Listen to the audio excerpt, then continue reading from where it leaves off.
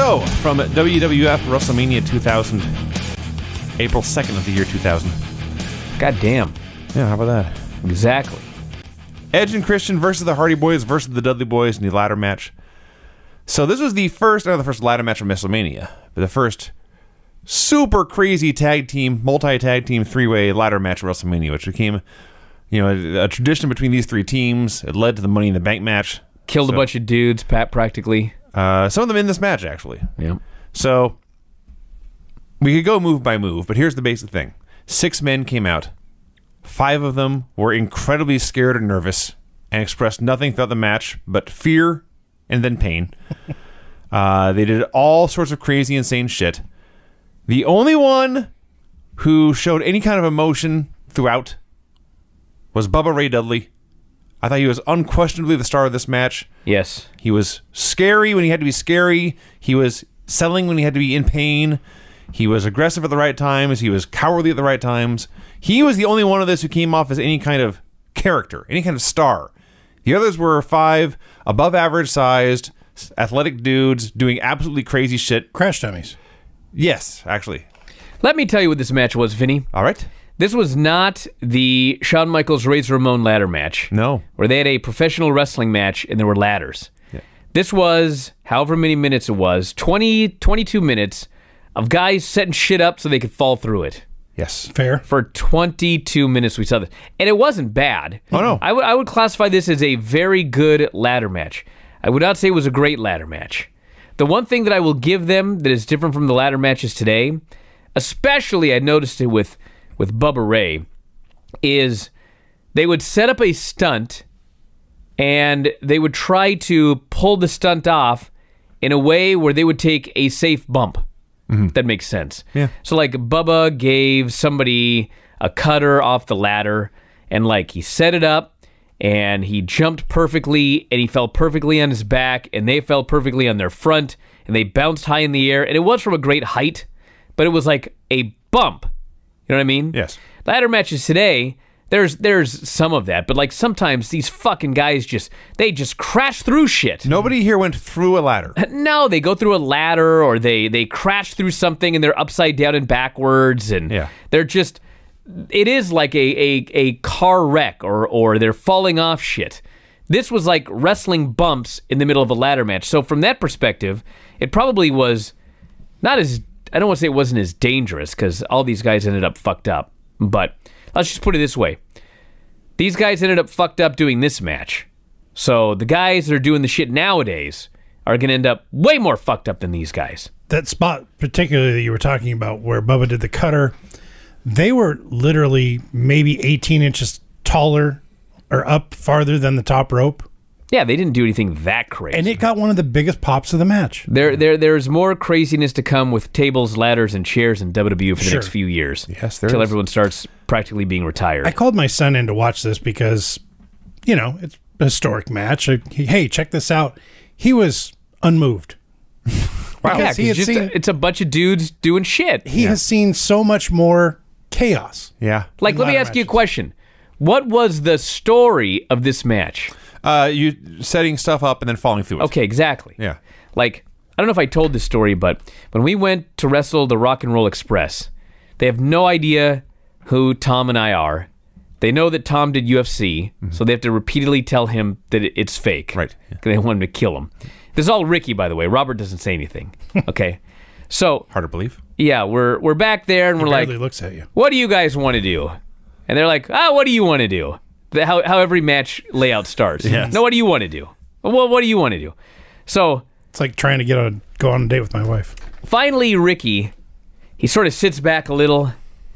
He gets that old veteran look on his face, and he begins to give a speech. Hmm. He says, What's the story going to be of this match? A match has got to have a story. He pauses, like he's dropped profound wisdom on us. should be a story in this fucking match? I never down. thought about that before. So he just goes on this big thing about how it's more important to tell a story than to have a bunch of moves. So what's the story of the match?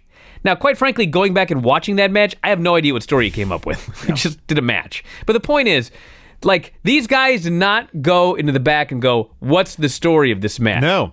Unless the story was, "Well, we're all gonna fucking kill each other, and then like somebody's gonna win." I don't even remember who. That's how much of a clusterfuck this thing was. And like everyone's gonna cheer, and it's gonna be legendary. But at the end of the day, there was no story to this match. No.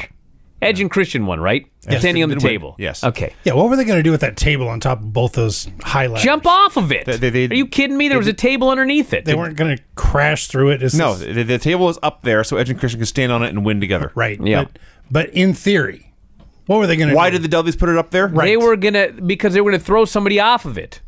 Okay. Which is, through bas- something else. which is basically what ended up happening. yes, Out of that it. was the story of this entire match here. Getting back to your your story. point about uh, how they were they were doing things, you know, I I don't want to say safe, but as controlled as it could possibly be. Safe-ish. More safe-ish. controlled than sometimes you see now.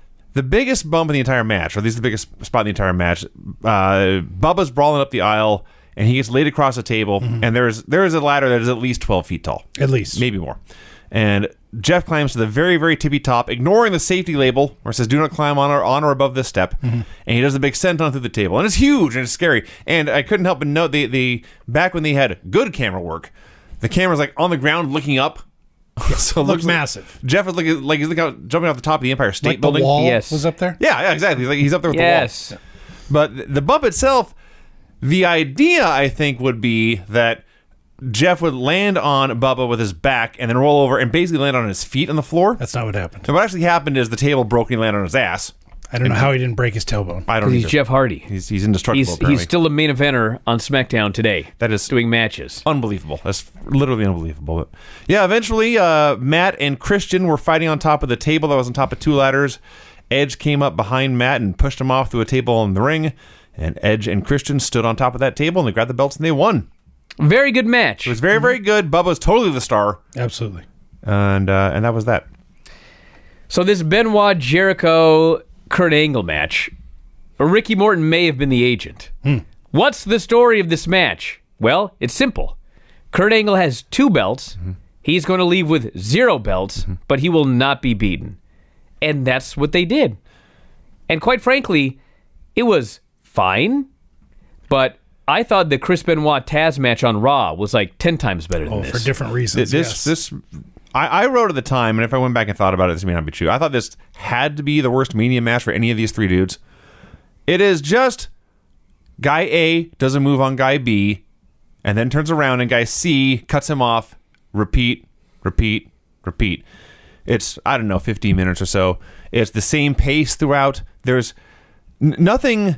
I, I, I hate their their There's nothing you can remember about this match. no, it's completely forgettable.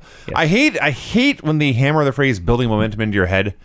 But there's a reason guys build momentum in matches is so that when that momentum comes to a halt, you know, it's a key point in the match. Something memorable has happened. Something an important uh, uh, plot twist in the story of the match has happened. There weren't any of those here. Three guys did moves for 10 minutes. They did a finish. They Benoit beat Jericho in the first. Yep. And Jericho beat Benoit in the second. Yep. They both won. First, the IC title's on the line first. Yeah. That was weird. So the big climactic finish is for the coveted Euro- European, European title. title. Mhm. yeah. And, uh, you know, Kurt Angle never was beaten by anybody here. There, there, there was nobody running wild for any length of time. Nobody got cut off. There was no like big big uh, alliance and then a betrayal down the line. It's just random shit for 20 minutes with two finishes, and It was 13, to be fair. whichever it was. But Benoit wins the IC title. He gets uh, it was the headbutt, right? Yes. I, I don't remember, but point is he he he covers Jericho. The ref counts three. His music plays, and the second fall starts in five seconds. So it's it, it, it was to the ring. there was nothing done to let that title win sink in. So just just a blah match, man. It wasn't bad, but it was so not good. it was just there. That was a very de- definition of just there. This match was. it was fine. just a match on the card. And Benoit won the title in the first fall with a headbutt. The second fall, he dove off the top rope for the headbutt. Jericho moved, hit the Lionsault. One, two, three. okay. Yeah. I've already forgotten. But I remember Jericho getting being like a geek in the first fall, and then when he wins in the second fall, he's really like stealing the pin on somebody. So he, it was not a good match for Well, Benoit missed the headbutt. Yeah, Well, according to Dave, everyone, Mm-hmm. that was still the second best match on the show. I that might I be fair. believe So that. Thank God we didn't watch anything else. I believe that. And then Oh, this, this, this, this main event. 36 minutes and 28 seconds. It is an elimination match. So I didn't even remember that. I thought it was just a four way. Same here. I thought, I thought it was going to be like a 18 minute four way. Yep. And we were going to have a winner that was Triple H, and we were going to go home. What this was was the McMahons not wrestling in the main event, but still being the main event. yes. Obviously, yes. So now I will say this: the the first half of this, when it's a four way and then Big Show's out, and then it's a three way, that was perfectly fine. Was all right. It, was better than the Angle Benoit Jericho three way. Then once it gets down to Hunter and Rock, and they go for another half hour. And I'm watching Vince McMahon throw a bunch of punches. I'm watching Shane do everything. I'm watching Stephanie McMahon act. This is bad. So they did have a story here. Each, each fall had its own story. There was actually a, a, a saga in this match. The first fall was the story was the Big Show is a scary giant, and he can destroy any one of these three men whenever he wants to, and he does for a long time. And then they decide, you know what? There's three of us. Let's get him. And they triple team him to death, and eventually Rock pins him with a rock bottom. So it took Yes. three men to beat the giant. Yes. That was fine. Fine. And, and and I will say this also: Big Show looked great killing these men. So now it's a three-way. It's Hunter, Rock, and Foley. Now the first few minutes of this is hysterical because what they actually did was the Rock and Sock connection double teamed Triple H. Mm-hmm. They were beating him in the ring. They were beating him out of the ring. They were hitting him with weapons. And I, in my head, knowing how this match ends. The story is Triple H is facing overwhelming odds and surviving, finding a way to survive. Hunter the Great. He was, is unstoppable. They're using weapons on him. He's fighting back, and Cactus tried to just use barbed wire, but he, that can't stop him. He'll take it and use it against you. Finally, finally, the key to the second fall is it's a story of betrayal when Mick Foley stabs The Rock in the back. Oh my god, the people boo Mick Foley like crazy and his he's coming back here. His his first match back after retirement a month ago. Yeah. Comes back and he turns on the fucking rock and they boo his ass out of the building. It's like The And then he gets eliminated and it was like, why was he even in here? I mean the answer the answer for him was the money. Mm-hmm. But the answer for like WrestleMania is I have no fucking idea why he was back. the best thing was watching Linda cheer Mick on. Go, Mick. Come on, Mick. Go, Mick! She actually raised her voice, but it was still generic. But like, what was the point of this? Just do they had to get. Here's the thing: they had to get Linda on TV. That was Yes. yes. okay. No, no one would have bought the show, Bryan, if Linda was I on it. understand you wanted Hunter there, and you wanted Shane, and you wanted Vince, and you wanted Stephanie. Mm-hmm. Okay, so you wanted or the three McMahons: Shane, Stephanie, and Vince. Okay, Mm-hmm. fine. Why the fuck do we need Linda there? We didn't. And if we didn't need Linda there, then we didn't need to bring Foley back for this this totally useless thing. I'm happy for Foley. He made probably a million dollars Good for him. for this for this one night of action. Mm-hmm. But but fuck, as a viewer, if you're a Mick Foley fan, it's like well, that was depressing. He just showed up and he fucking failed again. Hunter beat the shit out of him, pinned him with his fucking move again. He showed up. He went back on his word. Yep. effectively flipped off, uh, screwed the Rock and his own fans. Yes. And then failed and got beat. yes, And he looked bad in the process because as they're double teaming the Rock, they lay him out in the announce desk, and they Foley goes up to do the elbow off the middle rope through the, through the announce Oh. desk. Foley's knees retired before the rest of him did. He did not get there. He crashed sternum first into the desk. Oh. The desk did not break. Mick Foley did. He's on the ground heaving, trying to catch his breath. Now Hunter, at this point, briefly panics. yes. He must try to break this table. And he jumps off the uh, uh, other announce desk as fast as he can, jumps on the table, still won't break. He scurries up, he's pushing announcers out of the way, move, move. Jumps on the barricade, he jumps off it. Finally, he kind of like leans over. No one came out of this looking good. And then he just threw Foley in the ring and pedigreed him and pinned him. Well, to be fair, he pedigreed him and he kicked out, and then he pedigreed him on a That's, chair That is true. That did and happen. pinned him. So they gave Foley that one last kick out. Here's your main. Thank God. that rehabbed everything. So Foley goes to leave, and he looks up at the monitor, the big, the big screen, and he's so angry at Hunter. He runs back, he grabs the barbed wire and attack him because Hunter Hearst Helmsley has now been sabotaged. He's been screwed by a man who's uh, legally out of the match. He's been hit with a weapon. Look at these odds he must overcome. So they fought and they fought. Can I throw in here that during this match, knowing what was going to happen and knowing what was going to happen on Raw the next day, Vince is beating the shit out of Hunter. Yeah. What? I, I don't know. They just had to throw that in there to fool you? It's clear by the end of Raw they didn't know why. They, they, they knew what was going to happen, but they did not have a reason why. I was just baffled here. So Shane's in the ring. Vince is beating up Hunter. It sucks. Vince is beating up Shane. It sucks worse. Stephanie's acting. It sucks most. Like they have to. Everything that happens in this ring, there'll be a punch or a stomp or a slam or a clothesline, and they will cut to Stephanie on the floor, mm-hmm. who has the same bug-eyed, slack-jawed expression every single time for like 15 minutes. This goes on forever. So Vince at one point is knocked out with a monitor. He leaves, then he makes his big triumphant return, Well, first he, he gigs, Kinda. the old Bryan Alvarez gig. which is still better than Hunter's. For the first 10 seconds, like you don't even see anything. And then finally you see a little tiny, tiny, little tiny trickle that comes down. And so, yes, he goes to the back and probably went back there and Kicked cut himself again. 10 more times. giant knife. now he comes out and there's there's more blood. Yes, he's he's still with- not a crimson mask. He has no heart. I see. There's no blood to be pumped. Yes. Yes. A Flaw in their plan. He lost it all in that St. Valentine's Day massacre cage match. There was a lot of blood in that one. That's Yes. true. Yeah. So Vince is in the ring and he's got a chair and he's gonna hit Hunter with a chair and Rock's gonna win and everyone's gonna be happy. And then for no reason, Vince McMahon, who's the guy who brought Rock into this match, hits the Rock with a chair. Hunter makes a cover. The Rock kicks out. Vince hits Rock with a chair again. Hunter makes a cover. Hunter wins. Hunter is the first heel to leave WrestleMania as the world champion. It did not go over well. I had forgotten this negative, instant negative reaction. People said, I, I came to WrestleMania to see The Rock win. Now you give me Hunter winning. Here is my garbage I'm throwing into the ring. But hey, they had to send the fans home happy. Oh, yeah, yeah. Mm-hmm. So Rock comes back. Stephanie berates him, slaps him. He gives her the rock bottom.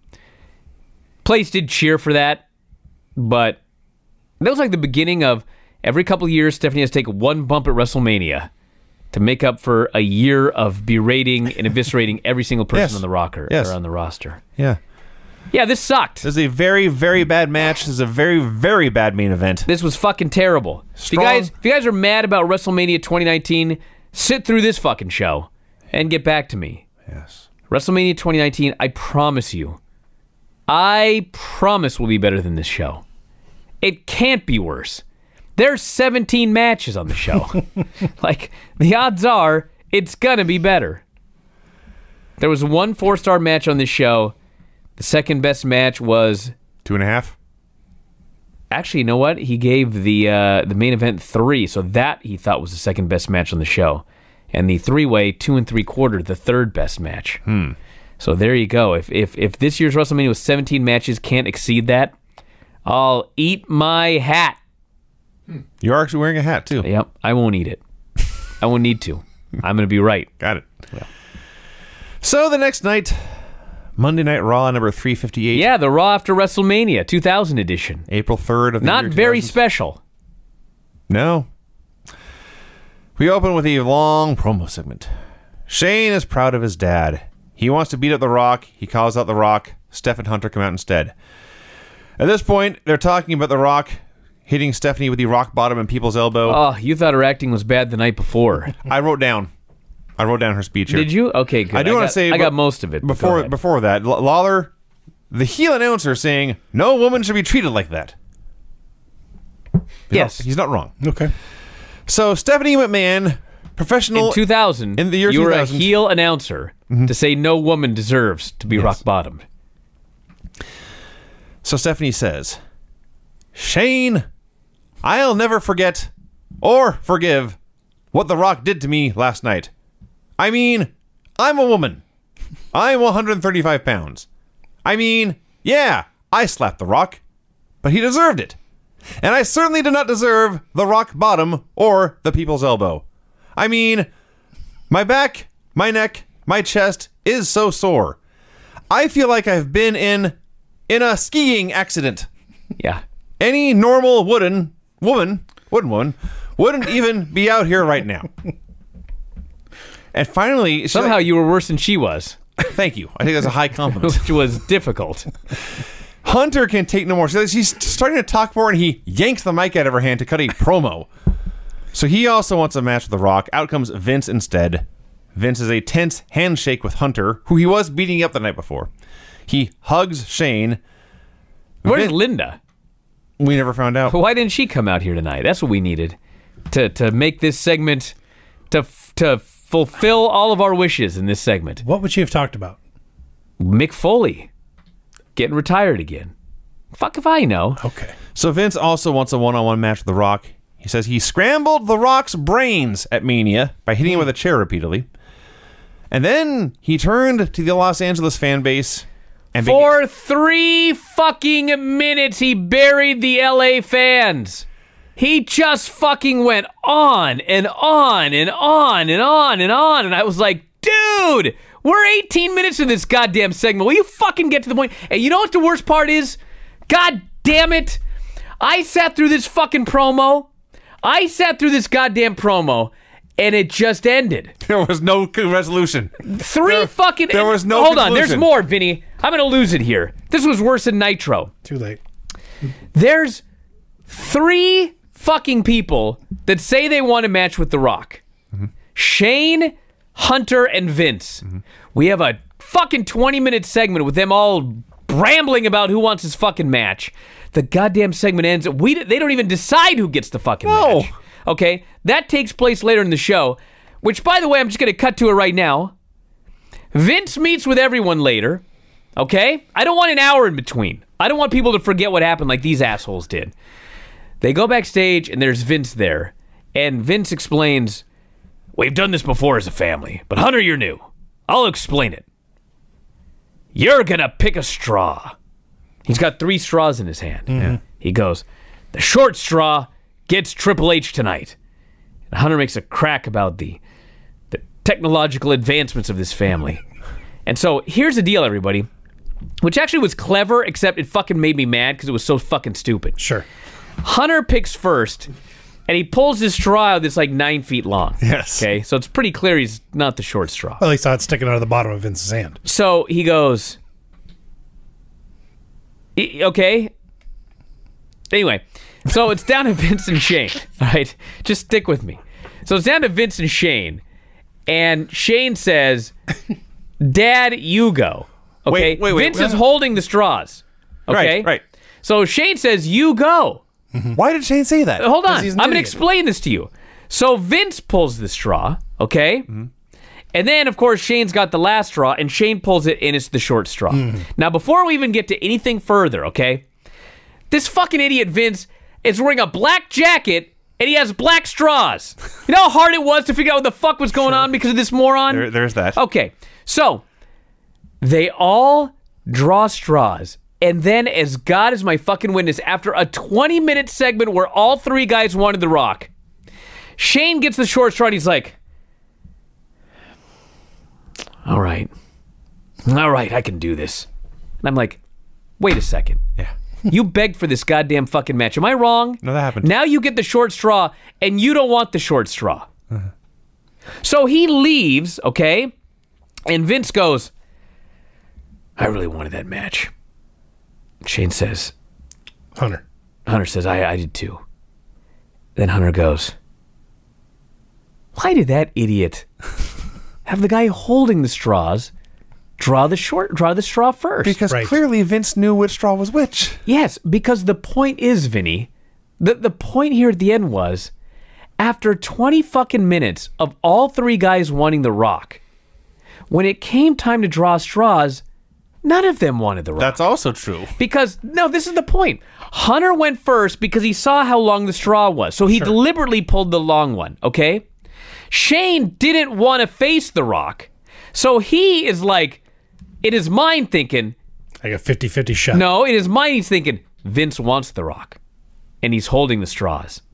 So if I Ah, let ha, him ha, go, ha, I he'll see. deliberately pull Okay. the short one. Okay. But Vince also doesn't want to face the rock, so he pulls the short straw. Or the, the medium straw, and then Shane is stuck with the short. The point of this whole fucking rant is They spent 20 minutes telling us, wasting our lives Yes. about which one of them demanded. Like, Shane comes out. He opened the show going, I'm going to go out there and I'm going to demand a match with The Rock. Then all these other guys come out wanting the match. And when it's finally time to choose, none of them want The Rock. What in the fuck is going on? What? What's going on here? Was I watching two different fucking shows? There- there- there's a bad TV show being produced, Bryan. No, this was this was even WCW would not have done something this stupid. This was monstrously stupid. It did contradict itself. And that is uh, You don't. And then I hate to jump to the end of the show, but I'm gonna anyway. Okay? We have nothing left to review. I don't give a shit. So, to recap, there's a 20 minute segment. All three guys want The Rock. In the middle of the show, they all go to choose straws. None of them want The Rock. They come out for the fucking main event of Shane versus The Rock, and all three of them take turns beating on The Rock. Yes. And then Vince and Shane end up outside the ring. The Rock takes Triple H, who's not in the match. He hits him with a move, and he pins him. How the fuck is this not WCW? How? You know what this was? This was WWE on an unopposed night Yes, that's a key point saying, too. you know what? We are going to do something as dumb or dumber than WCW, and we're going to fucking ruin them in the ratings, and we're going to laugh about it. That's my that's the only explanation for this here. A deliberately bad show. They wanted to prove that we can do WCW worse than WCW and still win. Well, that's what happened. Since you brought up WCW, I had a question for you. On this clip show, I didn't watch it. I okay, fine. But do you remember this? They had Tony Schiavone and Mark Madden in an empty arena. Had they actually booked WCW? Did they actually book the arena? Yes. And it just sat empty? Craig, let me explain how this works, okay? No, I'm Hold on a second. No, listen. If you and I are going to run a show, understood. in June. Okay? Okay. We should have had that arena back in like, you know, November. Okay. Okay. So we have it booked for June. November comes, December comes. What's after that? January, February, March, April. traditionally, yes. The Explain point of this this is, let's say the show's booked for June 30th. All right? Yeah. Okay. So on June 16th, a bunch of crazy fuckers decide, oh, we're just going to stop everything. We're to fire everybody and bring two shitheads back. Okay. Okay. And then the two shitheads decide, oh, we're just not going to do a show next week. We'll start up in two weeks. You can't just say, can we have our money back for this arena? I understand. They so yeah, they had a fucking empty arena. they must have had tickets sold. Uh, apparently they did. Unbelievable. And I guess you could use them for a different date. Or I guess maybe you could sit in the audience and watch Schiavone and Mark Madden talk about clips. Wow. Yeah. That's monumental. I mean, I could be wrong, but I mean, that's that's the impression Well, I you got wrote the here. book, so I thought I'd ask you. Well, I, I, I didn't even, dude. If, if I'm going to write a book with every nuance of this, it'd be nine million pages. I mean, you can just go through all the the. Anyway, point is, yes, I believe that that building they just went in there and sat their asses down and did a show. wow. So, like 15 minutes ago, you were talking about this Vince promo where he buries the LA fans. I just want to point out part of this. He was burying plastic surgery. Yeah. And the man who employs Chyna mm-hmm. and Tori Sure. and Trish Stratus Right. and whose own daughter, Stephanie man, we heading down that road, he buried breast implants. Made me laugh. The Rock arrives at the building. Chris Jericho versus Eddie Guerrero with Chyna on comment or uh, ringside. Why was she there? Because She's out there. Eddie Guerrero's Mamacita. Eddie is now Latino Heat. No, she's there because she's been with Jericho. She's in his corner. Okay. Yes. Eddie is now Latina Latino Heat. He's calling Chyna Mamacita. Promises promises to make his ancestors in Spain proud. The best part of this match is Eddie whips Jericho in, and he goes to catch him in an abdominal stretch, and it goes haywire. Yes. So he just says "fuck it" and grabs a sleeper instead. It's awesome. We have a random camera cut to the floor in Stephanie's locker room. Just a mistake. so Well, it did lead to something later, and the announcers acknowledged it. So I think, I think you were supposed to. I don't know. It was weird. So the ref gets bumped.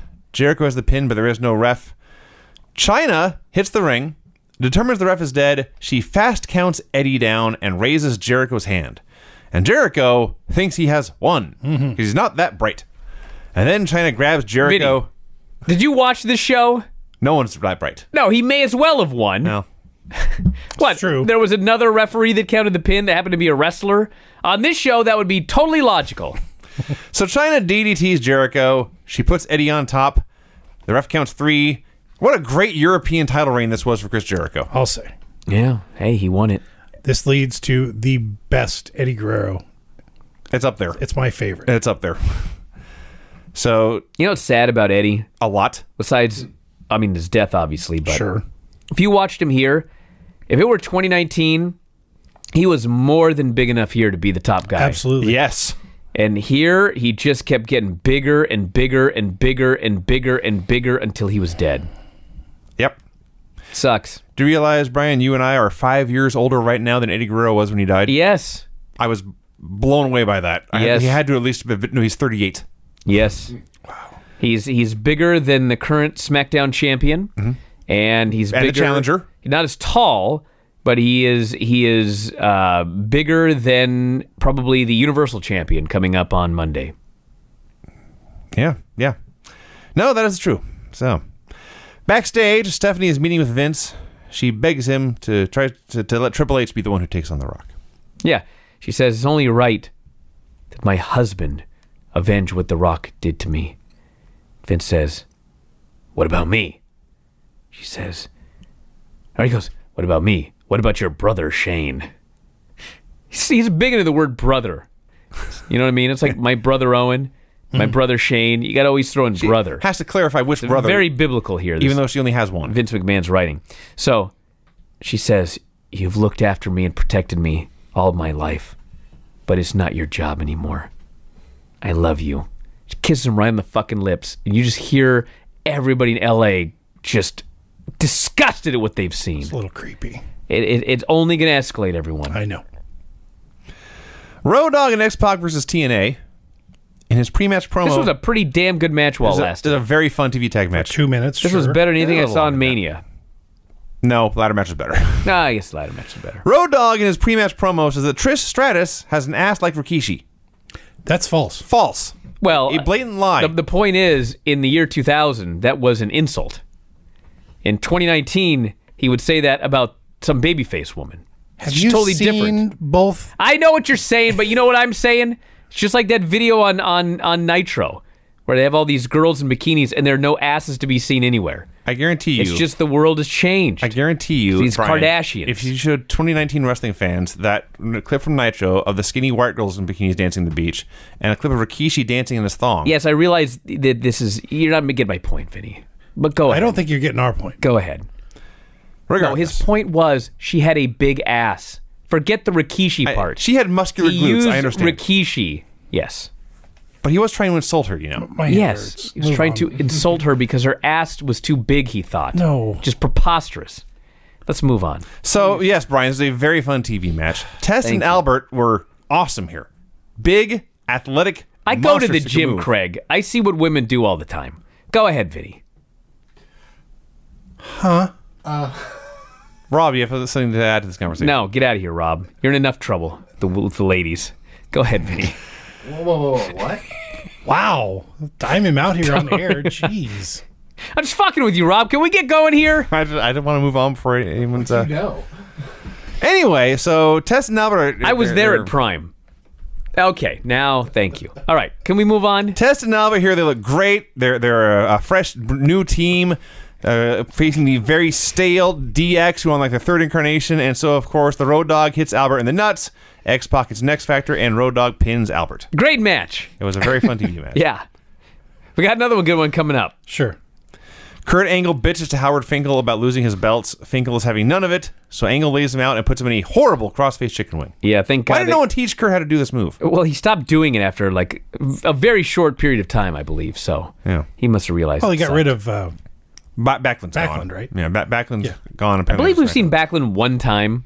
I don't even think he was there at Mania, was he? oh, he was there. No, they, he they, were, there? they were talking about it at Mania. No, they- no, because what they said at Mania. Oh, that's right. Backlund is the one whose big mouth got Kurt in a Yes, situation. but he wasn't there. But so, and so Kurt has, I assume, on SmackDown beat up Bob and he's gone. Mm. Shane goes to his dad, wants the match with The Rock. I, at this point, was certain they were just going to do a three on one handicap match, which in the end was close enough. Shane did not kiss his father on the lips. He did not. Thank you, Craig, for clarifying that. Chris Benoit versus Taz. This match. So here's the story, everyone. here's the story of the match. Mm. Chris Benoit is a machine with one speed. Right. And I don't know if Taz was unprepared or what the story was, but like Benoit just mutilated this guy. And he beat the shit out of him, and he was running rings around the guy, and he's throwing his ass all over the place, and he's suplexing him everywhere. He's just going at 80 miles an hour.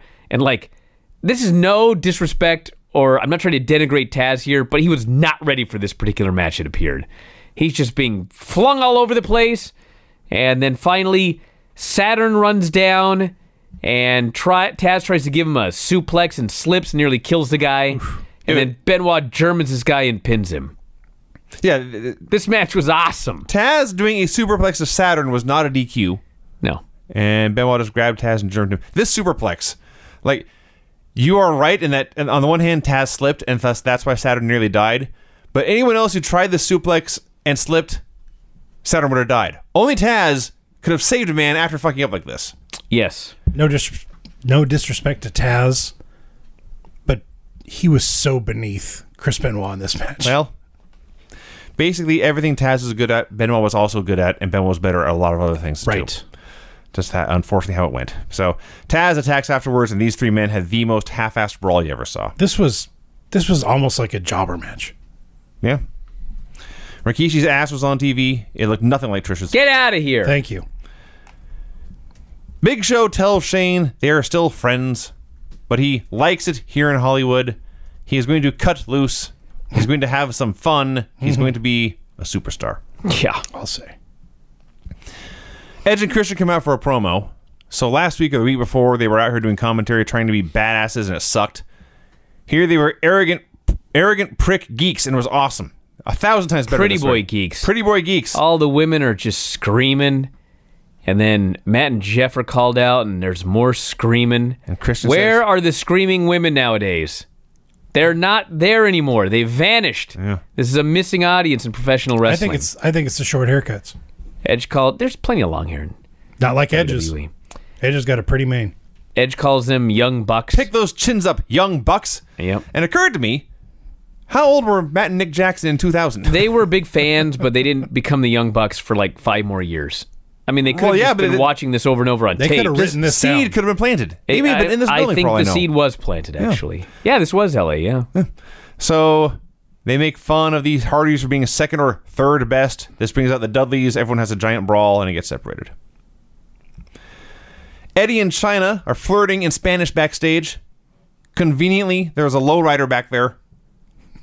Step into the love machine, Eddie says. And they get in the lowrider and they go away.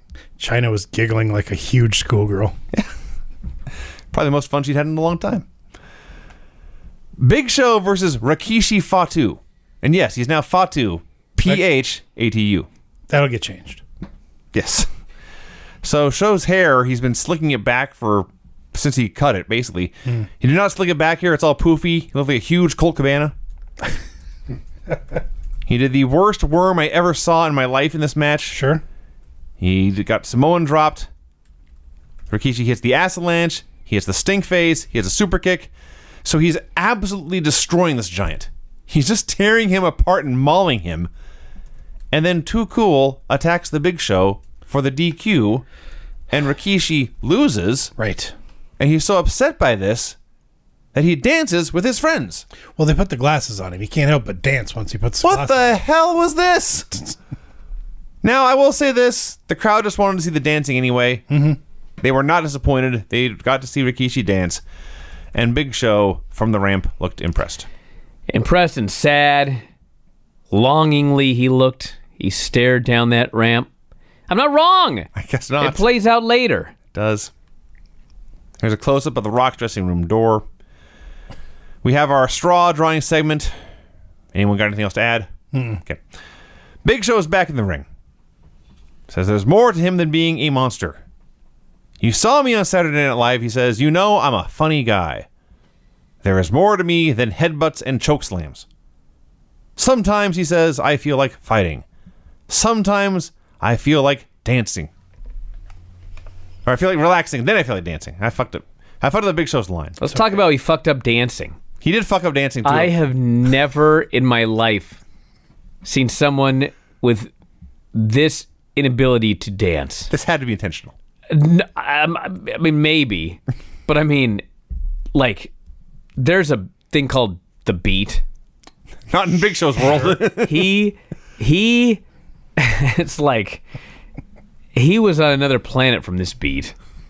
I mean, even the very first thing where like the music starts and you go, he missed that by three full seconds. he did. It, it was so bad. But you know what? The fans loved it. Fans absolutely loved it. Because it doesn't matter whether or not you can dance. The fans want to see wrestlers dancing. Wres- Wrestlers dancing always gets over. Yes. And you know what was so amazing about it was the worst dancer I ever saw prior to this was Scotty Too Hottie. Sure. And he looked like a seasoned professional after I saw the Fred Big Show. Astaire next to the Big Show. I was like, God damn, I was wrong. I am sorry, Scotty Too Hottie. You knew what you were doing. So the fans are chanting, "Go Big Show, go Big Show, go Big Show." Then there is literally a record scratch, and the music stops. Can you imagine if there had been a Dancing with the Stars back when this act was hot? When, when the WWE if they could have got like Rikishi on there? Can you fucking imagine? that would have been so much fun. It would have been incredible. Cole interviews The Rock, who just has like nothing to say. He just vows to become the the champion. McMahon's, promises to win the title. Yeehaw! Well, it's not time for fun, Vinny. It's not time for Ric Flair to talk about the women. Was but supposed to? Time for him to be mad. But he wasn't that mad. Yeah, he was just there. not making jokes. Too cool is laughing at Big Show's terrible dancing, especially Grandmaster Sexay. In my notes here, I have described them as Tool Cool, which is a different team. Well, Crash Holly versus Hardcore Holly. So, at WrestleMania, there was a hardcore battle royal where basically one person was it. Everyone else tried to beat him up. When he was pinned, that new guy was it, and they tried to beat him up. for 15 minutes. 15 minutes. As I recall, it was, it was actually kind of fun, but I'm not going to go back and watch it now. The point I bring up is I forget exactly what happened, but the finish got fucked up. The wrong person won, and somebody got glass in their eye legit. so Hardcore wins. He's not supposed to, but he wins on that show. So it's Hardcore versus Crash here, and they're doing this match, and they break glass again. they break a picture over somebody's uh, uh, face the next day. The acolytes come out, they attack Bob, they put Crash on top. Crash wins. And uh, clearly, Crash has paid off the acolytes for their services. Crash is the hardcore champion once again. The Mean Street Posse attacks him. They all can't work together. He escapes, and we're right back where we started. Okay, so didn't there wasn't there a deal where like the posse attacked Crash somewhere? I think it was like the airport. No, it was in the it was in the hotel room. The the first time where they're all breaking up each other's pins. First time was in the hotel room Okay, and then the second time they were working together, at the airport. and now they can't work together again. Right. yes, yes. yeah. Okay, just making sure I've got my timeline of stupidity right. Hunter goes to give Shane some advice for facing The Rock, but it realizes The Rock is way too fast and way too strong for Shane. He goes, I got some advice for you. If The Rock. He's much faster than you. okay, so if you see The Rock do this with his arm. Oh, he's much stronger than you. Just be careful out there. It was funny, but it was like, are they friends? Do they hate each other? What the fuck's going on here? Do you have a brother-in-law? Tony, How do you feel about him? it's fine, man. Okay. The Big Show goes to confront Grandmaster Sexay, and he calls him Brian. Uh oh. Was my dancing really that bad? He says. Yes. Brian says. It was worse. Brian says yes, and so the Big Show puts him through a table, steals his goggles and the hair extensions, and leaves. Val Venis versus Kurt Angle. Kurt interrupts Val's promo to cut his own promo. He's outraged about losing both his titles last night. Now he has to wrestle, as he puts it, a film star. So he's going to wear protective rubber gloves. But as he goes to put them on, Val attacks, and they have another fun TV match. Kurt Angle is great. Val's very good. Finishes. Val goes up top. He misses the money shot, and Kurt wins with his horrible chicken wing. Hideous. Funniest part is Val, of course, does not tap out. He, No. he waves his hands Yeah. because Val Venis is a luchador. Yep, Right. yep. He did the CMLL hand waving. I wrote that down. Yes. Vince meets with Shane, promises to have Shane's back. Kane versus Bull Buchanan. What a waste of my fucking life. What a weird match. Kane chokeslams him and pins him. Did you miss Bull trying his springboard and falling on his ass? That was of everybody? bad. You know, that happens sometimes. Yep. Ropes are a little slick. I, I was surprised that I was surprised they didn't just try it again. But Kane clearly said, "It'll just get worse, kid," and he moved on. This is what the third week Bull Buchanan's been in the company, Second or third on the main roster. and he lost to Kane in seconds. Yes, Well, then Bossman and Bull handcuffed him and beat the hell out of him. Yeah, but still, and He uh, no sold Paul Bearer. Paul, ball player. Yeah, yeah. really. This is pointless. This Yeah. is pointless. Smashed a chair on Kane's hand, supposedly breaking it. Sure. Rock versus Shane McMahon. 19 years later, The Rock is not wrestling. Shane is. Yeah. Is that what you call it? Well, Well, it's because Rock went on to become the biggest movie star in the whole world. well, there's that. Shane started a company in China and then came back. So it is, as noted, a blatant three on one. Hunter and Vince are both out there, and they'll one of them will take the ref, the other hit him a Rock on the floor. Shane will take the ref, they'll double team Rock on the floor, whatever. Shane's awful. On top of everything else, I didn't notice it until this match, but this ring was really squeaky. I mean, It's it's making lots of noises whenever they bounce, and of course Shane's in there doing his terrible boxing shuffle. You So know- this ring is. I went on a 10 minute rant earlier about this whole storyline in this match mm-hmm. and how stupid the fucking finish was and all the booking leading up to it. I didn't even mention the thing that pissed me off the most until we actually got to the finish. And that is, it's supposed to be Shane versus The Rock, Yes, but Hunter and and Vince are going to interfere regularly. Right. Okay. So every time that one of them is going to interfere, the other one takes the ref. Right. They do this for 10 minutes. Yeah. And then, all of a sudden, after 10 minutes, Hunter gets in the ring and starts beating the shit out of The Rock right in front of the referee, Vince and Shane are up the ramp. who doesn't do a goddamn thing. Yeah. like, seriously, did I start watching one show and then, like, another show merged in on my network or something? What in the fuck was. Why could nothing be kept straight here? Hunter starts beating on the guy, and then, yeah, He hits a rock bottom. He covers Hunter. He orders the ref to count three, and the ref does. and he celebrates with Hunter's belt. yes. I'm going to read the last part of my notes here. Hunter attacks from behind. This is not a DQ. The referee gets shoved down. Not a DQ. What is happening? Rock Yes. hits a rock bottom, orders ref to count three. What? What's happening? Rock celebrates with the belt. I are confused. Hey, let me tell you something else.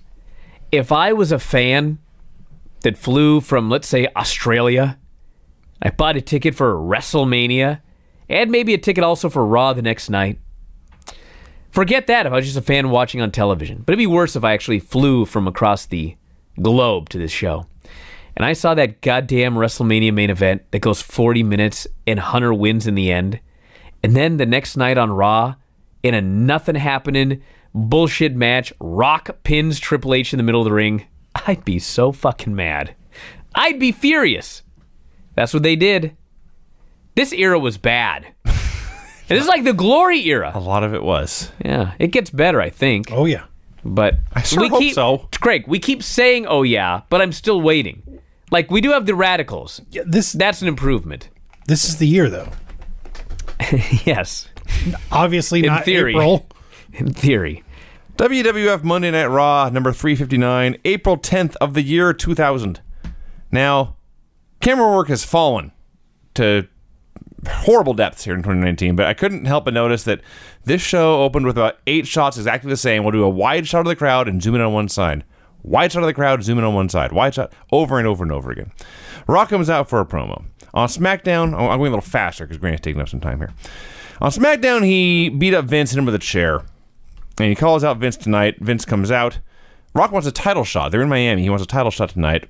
Vince instead says, I will give you a cage match against a mystery opponent, and if you win, you will get a title shot. Actually, he didn't, Vinny. What he said was, "There's going to be a cage match tonight, and Rock, if you escape over the top, or win via pinfall or submission, you'll be victorious." That's what he said. That He's is not wrong. Because I was actually thinking, is this for a championship match? Because I don't know what that means. If you win, you'll be victorious. You're correct.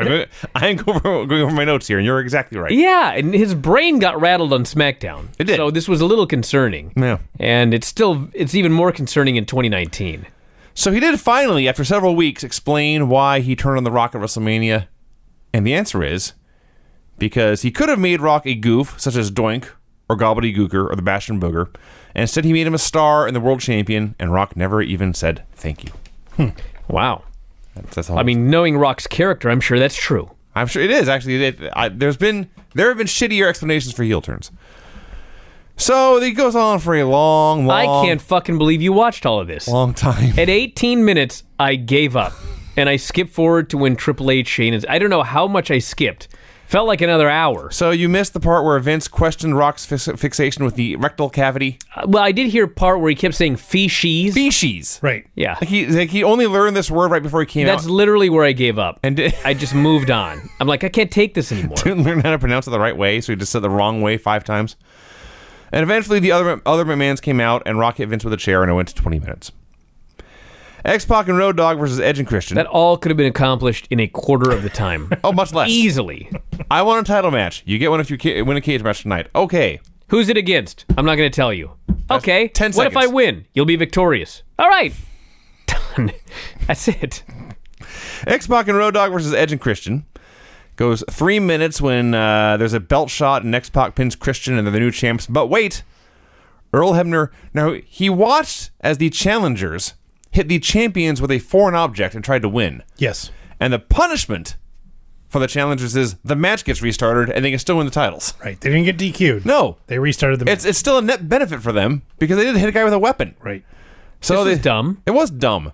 And uh, they, they still won. Edge and Christian did. Edge pinned Pac with a spear. So no, no harm, no foul on this terrible, terrible decision. But that's how it went. You do realize that there were fuck finishes up and down the show. Oh, I- yeah. I, And- you realize I'm the guy who tracks the finishes for the finishes. Earl Hebner, apparently he did it once and then realized what a shitty thing he had just done and just said, ah, fuck it.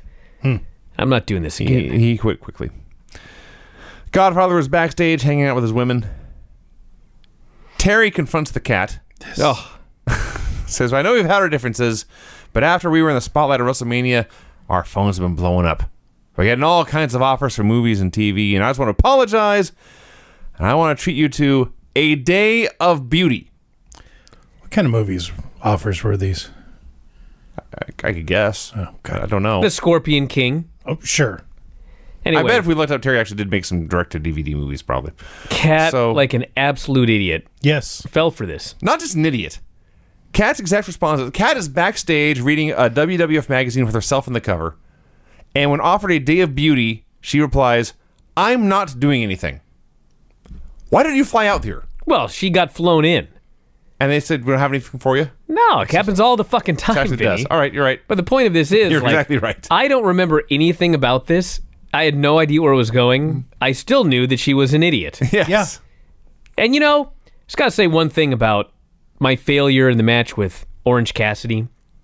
When his, I was distracted by music. and I was pinned. Okay, as I noted on the Bryan and Vinny show, whatever day that was where we covered that match, I was the fucking heel. Do you understand? Okay. Oh, I do. It's my job to look like a fucking idiot. My my issue is when the baby face looks like a fucking idiot. Right. I'm pretty sure Kat's the baby face here, right? yeah, yeah. It wasn't Terri. I mean, Kat had a little dog. So she was clearly the baby face here. Think about that. and Torrie Wilson was a heel with a little dog. well, I guess so. But anyway, we'll get to the dog. So Kat is just an idiot. Kat is dumb. Yes, we she's can, a dumb baby face. Here we can agree. Yes. Kurt Angle versus The Godfather. Kurt is a promo preaching about Godfather's got a new song. the Ice T song. Okay, now I got to ask a question about Kurt. He comes out and he preaches abstinence. The Joy of Celibacy. Unlike the people here, he says, I do so voluntarily. Yes. Right. Kurt's delivery is so great. Yes. Yeah. He's so sincere. Yes. Is he? So he says, I have got a poem.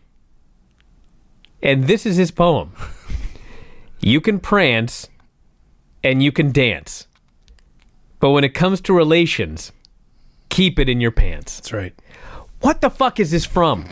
What, did someone do a song that they used this clip for the beginning of it, like way back in the day here on the site? you remember this promo? I remember this vividly. And like, there's no reason that I would have gone back 50 times. I mean, it took one time to recap it. Like, I don't know why I would have to go over it again. This was used somewhere for something many times. Hmm. I have no recollection. This is like a motto of your mother's or anything. No, this exact Young- thing. young I, I, I remember when he said it. Like when, when he said it, I remembered his exact delivery. I see. Like this clip was used for something.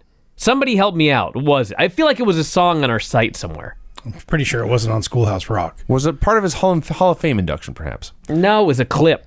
All I know is he also used the word debauchery Yes. and then repeated it just to make sure we all knew he was doing it wrong. And then he pulled a condom out of his pocket. A prophylactic, an unwrapped, unrolled prophylactic, yes. like Godfather hasn't been using these. Then he mentioned debauchery. Yeah. He sure did. Yeah. He. Debauchery. Thanks for thanks for paying attention, Bryan. Debauchery. Did Orange Cassidy rattle your brain? I wasn't listening to you. I was texting for someone to come up and kill this cat. I see. So they do Cats this, are heels to me now. That's why he's pointing over that dog. they do this match. The highlight of the match was Kurt having to pretend he cannot outrun the Godfather. and uh, one of Godfather's women slapped Kurt. The crowd loved it, but he came back and he won clean with an angle slam. You can prance and you can dance. But when it comes to relations, keep it in your pants. I get to work. This work is on going those. to drive me fucking crazy till somebody tells me what this was used for. Get to work on those songs, kids. It was a song on, I'm sure it was a song on the side. I just can't remember. We, we must have played it a million times. Earlier today, Kat and Terri get into a limo and leave, and at the exact same time, in an amazing coincidence, Eddie Guerrero and Chyna arrive in their lowrider. Late. Well, no, it was earlier today. They may have been I on see. time. yeah. Okay, you're right. Go ahead. Rikishi promises to back that ass up, and then delivers. Yeah, he actually. Who was he talking to? Uh, Taz and Was it- Scotty. but which guy? Like he turned to one of them and he goes, "Taz, you want me to back that ass up?" It was Scotty. I was like, "What? I think this is important because you would never say this to Taz. You would never say this to anybody." And Taz never say Vinny, yes. you want me to back this ass up? Well, I don't. No, Okay, so no one would ever say that to anybody. You have a point. Thank you. Big Show is very excited to show Shane McMahon something. Shane can't believe what he's seeing, and we'll just have to wait and see how this pays off. I guess some people might say that to other people, but Sure. It's none of our business. just not these three. No, in this room, yes. No, not me and you. And I'm talking to Rikishi. Can we move on?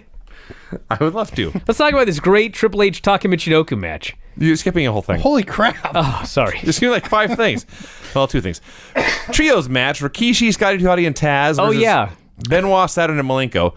Congrats to the Radicals for getting matching gear this week, including Eddie, who wasn't even on TV with the rest. of them. Oh, you matching gear geeks. That's why we have people like the Forgotten Sons. Because they dress the same. Yes, Bryan, you're exactly right. Chris Benoit and Perry Saturn and Dean Malenko are exactly like the Forgotten well, they're Sons. not. My point is that like sometimes you don't need to wear matching gear. You know what I mean? Like th- these guys could be a team without matching gear. It's okay. So this match was short, but it was This fun. really bothers some people. This match was short, but it was fun. People really loved Rikishi's comeback. Like, if you have forgotten, people remember Rikishi as the dancing fat guy, and he was, but he was also a main event caliber killer. He's a good wrestler. They, Yes. but, but he was over. Is the important thing. They could have, they absolutely could have done Triple H versus Rikishi for the title as a pay per view main event. They did it two weeks ago. As a pay per view main event, Okay. it would work. So they're doing this trios match. As I wrote here, a bunch of shit happens. Somebody's out of position. Somebody gets called a stupid ass, and the Radicals win. Mm-hmm. Steven, even Lance himself does not like the team of Ricochet and Aleister Black. No matter how good they are, no matter how great a match they might have, their gear doesn't match, so he can't take them seriously as a team. I think this is madness. A team's a team. You can get matching gear if you want to. Matching flannel. It's not the end of the world if you don't. All right. But see, if you're the Forgotten Sons, mm-hmm. don't get. If you here's the thing, if without the gear you match, don't add matching gear. Okay? How about that? So the Usos should not have matching gear. Well, I mean, that's they're identical twins. Nothing can be done. They're actually not identical. But I mean, they're not I know. I was stunned too. really. I was fl- blown away, but they How are not about identical that? twins. How about that? But my point is, like, if you've got Otis and Tucker, Sure. Eh, put them in matching gear. Okay. It's clear which ones you can tell Otis from Tucker. Yes. But like if you're the Forgotten Sons, Do not put them in matching gear. That's actually a fair point. Thank you. Thank you very much, Vinny. Cutler and is it Murphy? No, it's Blake. Cutler and Blake look too much alike.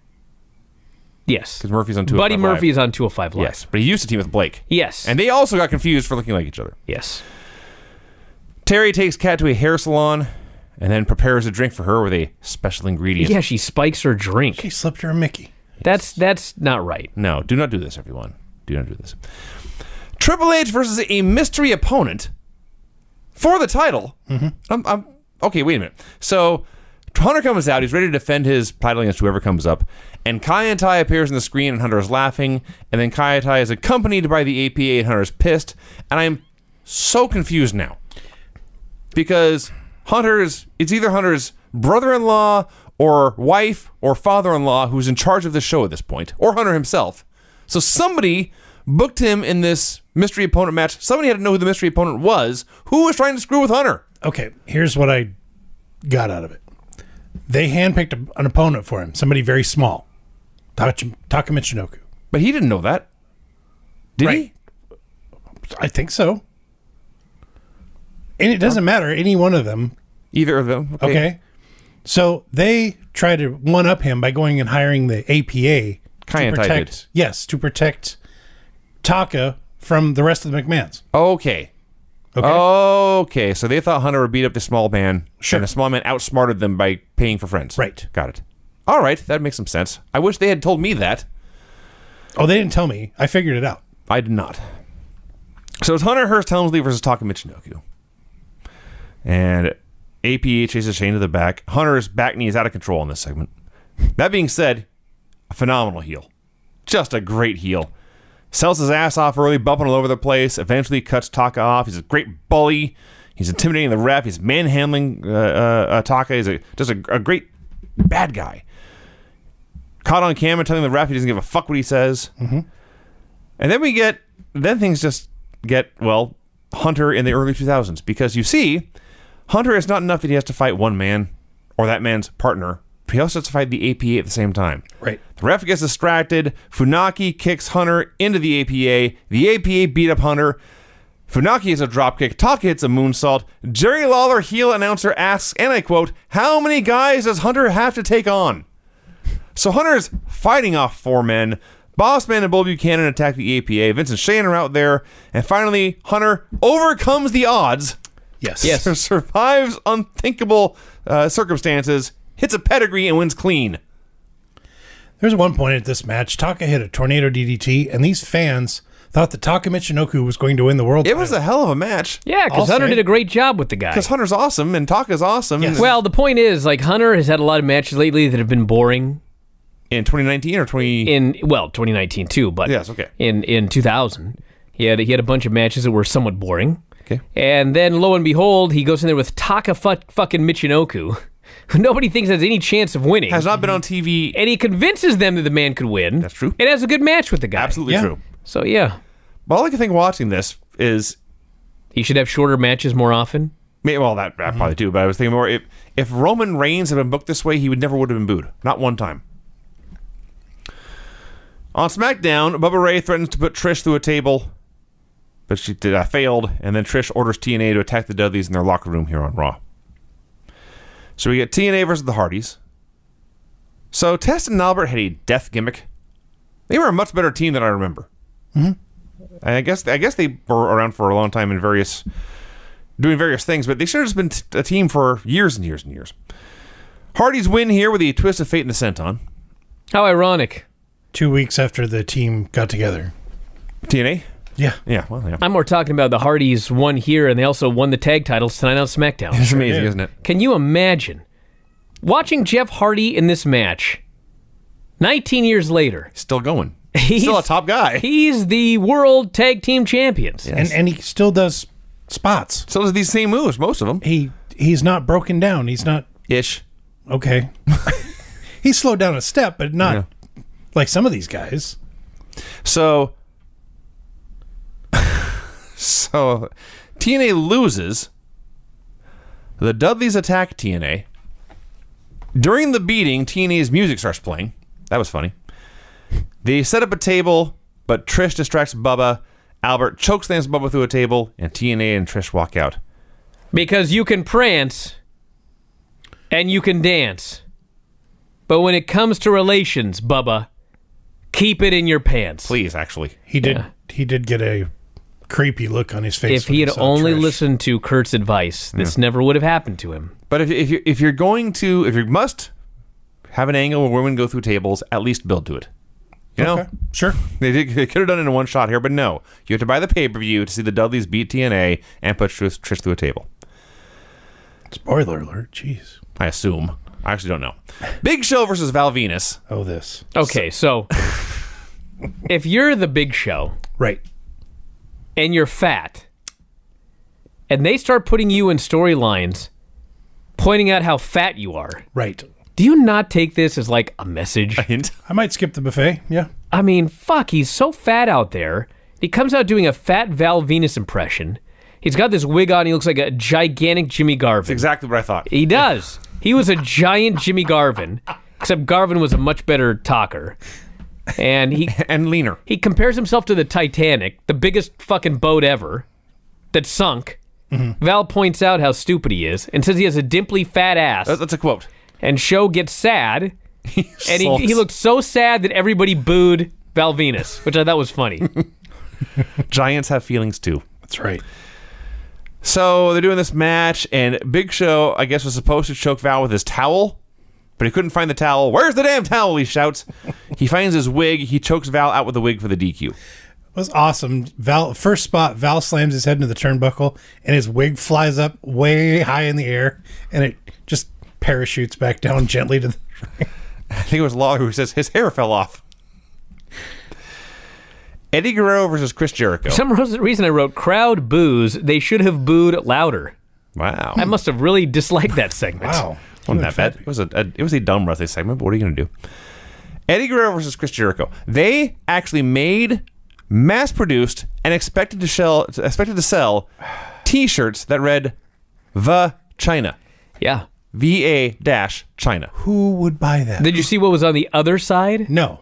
of Uh, the some- Chyna? Something about going inside, I believe. Yes.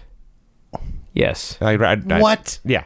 Enter at your own risk. Yeah. Va Chyna. Yeah. What? Yeah. A hot seller, I'm sure. Well, I can only imagine. I can only imagine. Oh my.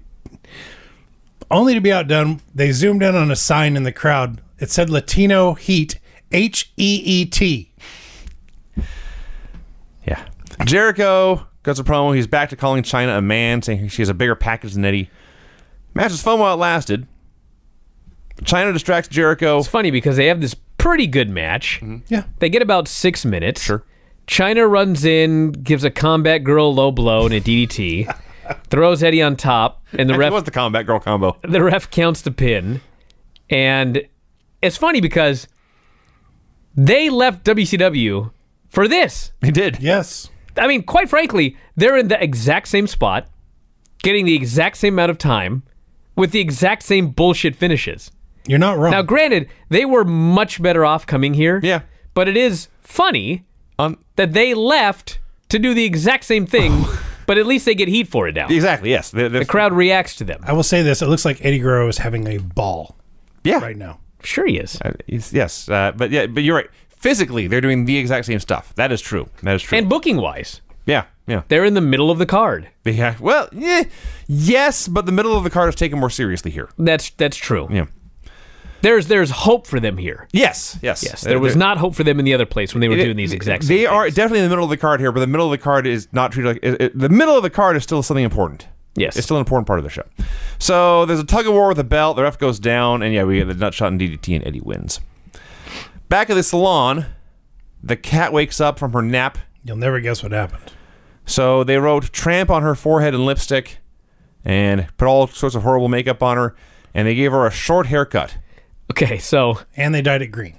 she she's she wakes up, her hair's all fucked up, she's got paint on her or whatever, and she's mm-hmm. freaking out and she's screaming, she's going crazy.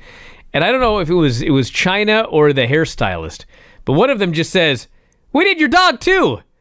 And the dog's been shaved from the neck down. Yes. Looks like a little lion. Yeah, mm-hmm.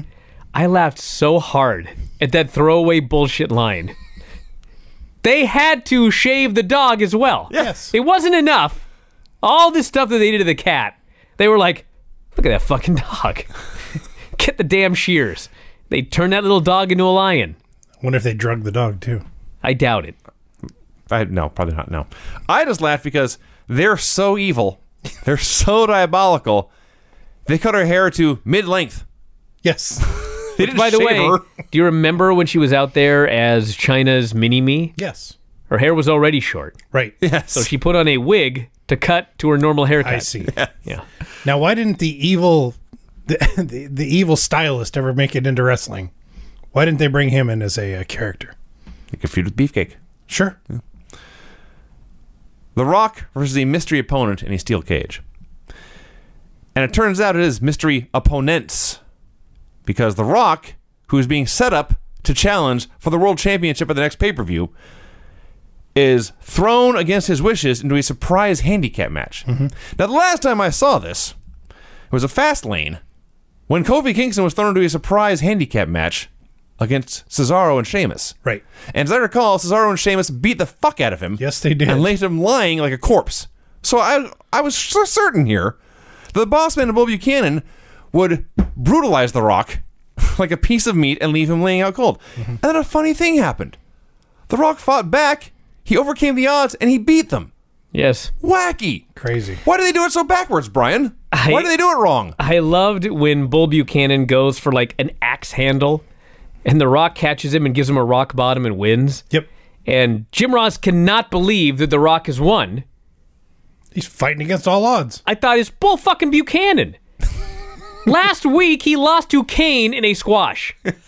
So even 19 years ago, they were booking by the seat of their pants. Well, that's true. Why in the fuck, if you were gonna do Big Boss Man versus Bull Buchanan in The Rock, and you wanted Boss Man and Bull Buchanan to be like an actual perceived threat to The Rock, hmm. would you have Kane squash fucking Bull Buchanan the week before? Kane! That is a good question. Well, that's what they did. Yeah. So The Rock wins, but then he is immediately jumped by Hunter and the rest of the McMahons. And Hunter hits him with brass knucks, and Rock pulls out a razor blade and slices the top half of his head off. Well, you know, He hit a gusher. There's actually a point where, and the, the, the camera's too close up to be sure, but it, it almost looks like somebody hit him as he was gigging, which Yeah. would explain a lot. Yeah, yeah, yeah. because when I say blood is pouring out of this man, there- there's a shot at the end. For there's a shot where Hunter is going to pedigree him on a chair, and it's too zoomed out to actually see the blood pour, but you can watch the puddle form uh, on the chair as they're standing there. And then uh, they, they beat him and beat him and beat him, and eventually the APA chases them away. But Rock sits up. It's like five minutes into this, and Rock sits up, and the blood like spurts out of his head. It's it's amazing. It wasn't quite mass transit, but it was bad. Part of me actually thought he may have gigged a second time was bleeding so much, but no, it was just the first one was that bad. So yeah, that was Raw. Had some fun stuff and and had a point.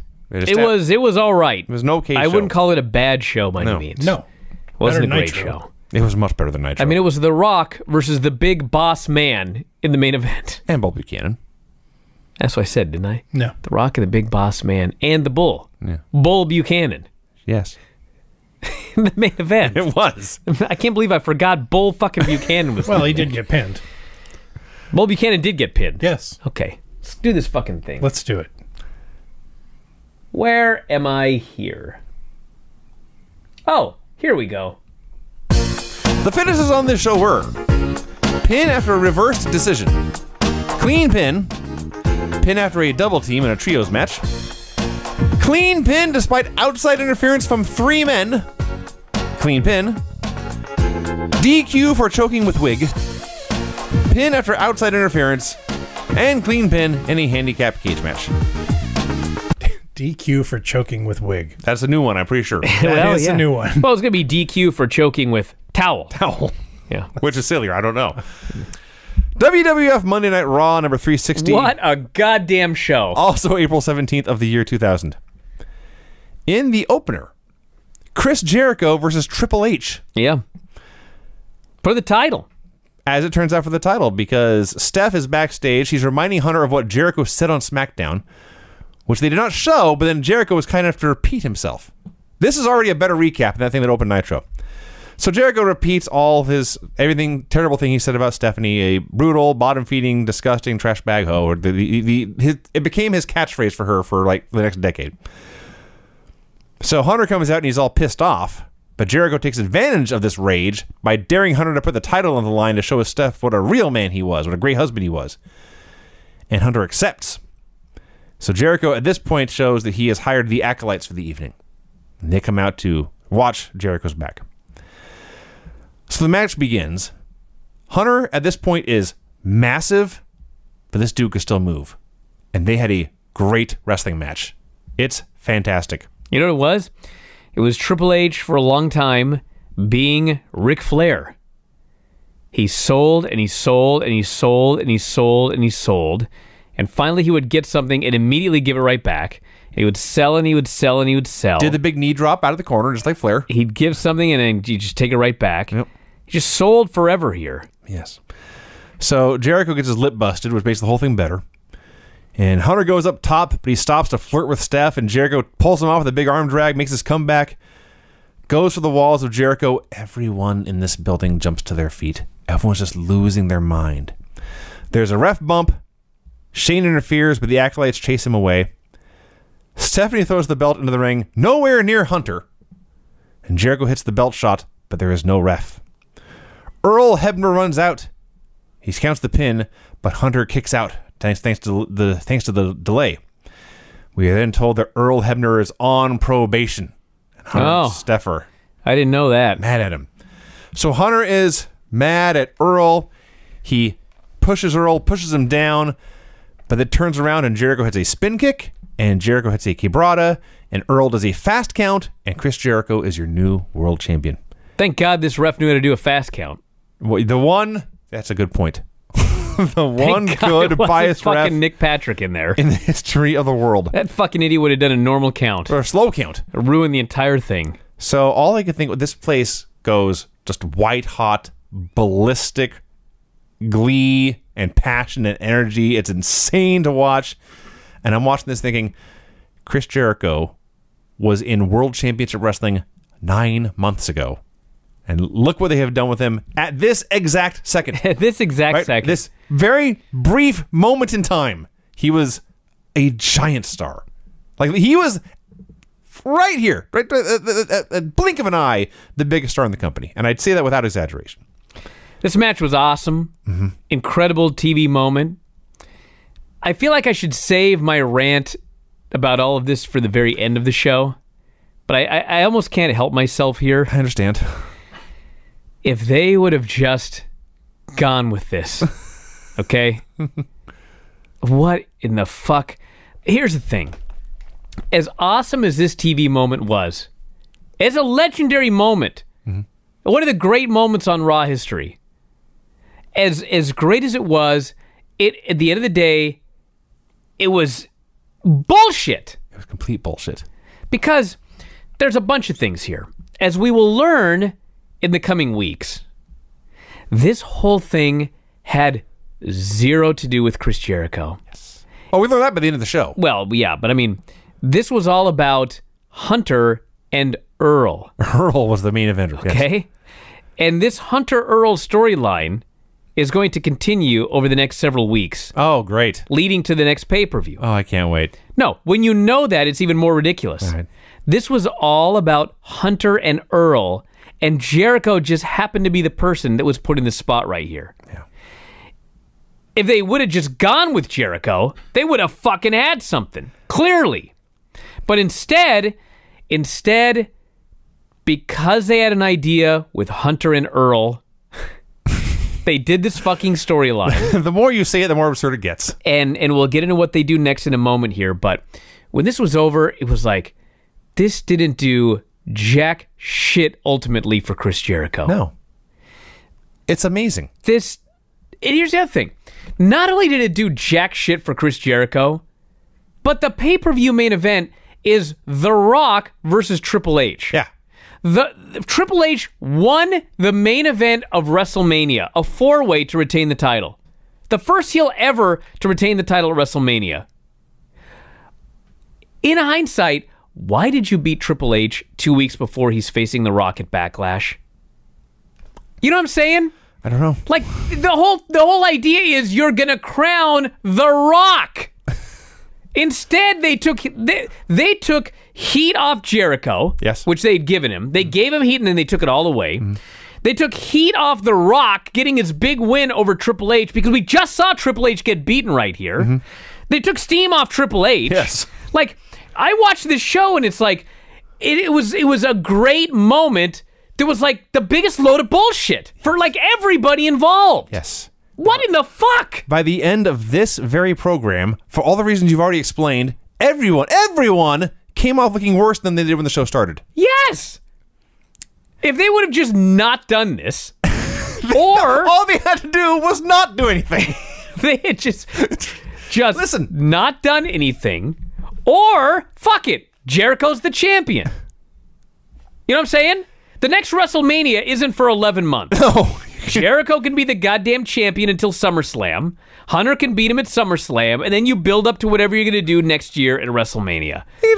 Steve Austin, can, Rock, whatever you're going to do for King next. of the Ring. You have six months to kill. Who gives a shit? But man, I, I, I watched this back, and the match was awesome.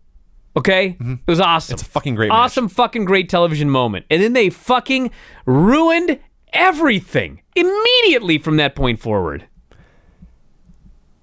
Chris Jericho was never more over than he was at this point. And I, th- this was his high p- high point. This is the high point of his career, and they threw it away 100 and uh, 100 minutes later, whatever it is. Ten. that's just that's actually true. Well, it's it's worse by the end of the show. Yes.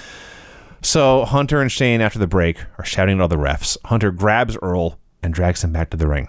Now, I will say this: when I said ten minutes ago that Jericho was the biggest star in the company for that blink of an eye, at this point, as Earl is manhandling, or excuse me, Hunter is manhandling Earl, the crowd is chanting for Rocky, not Jericho.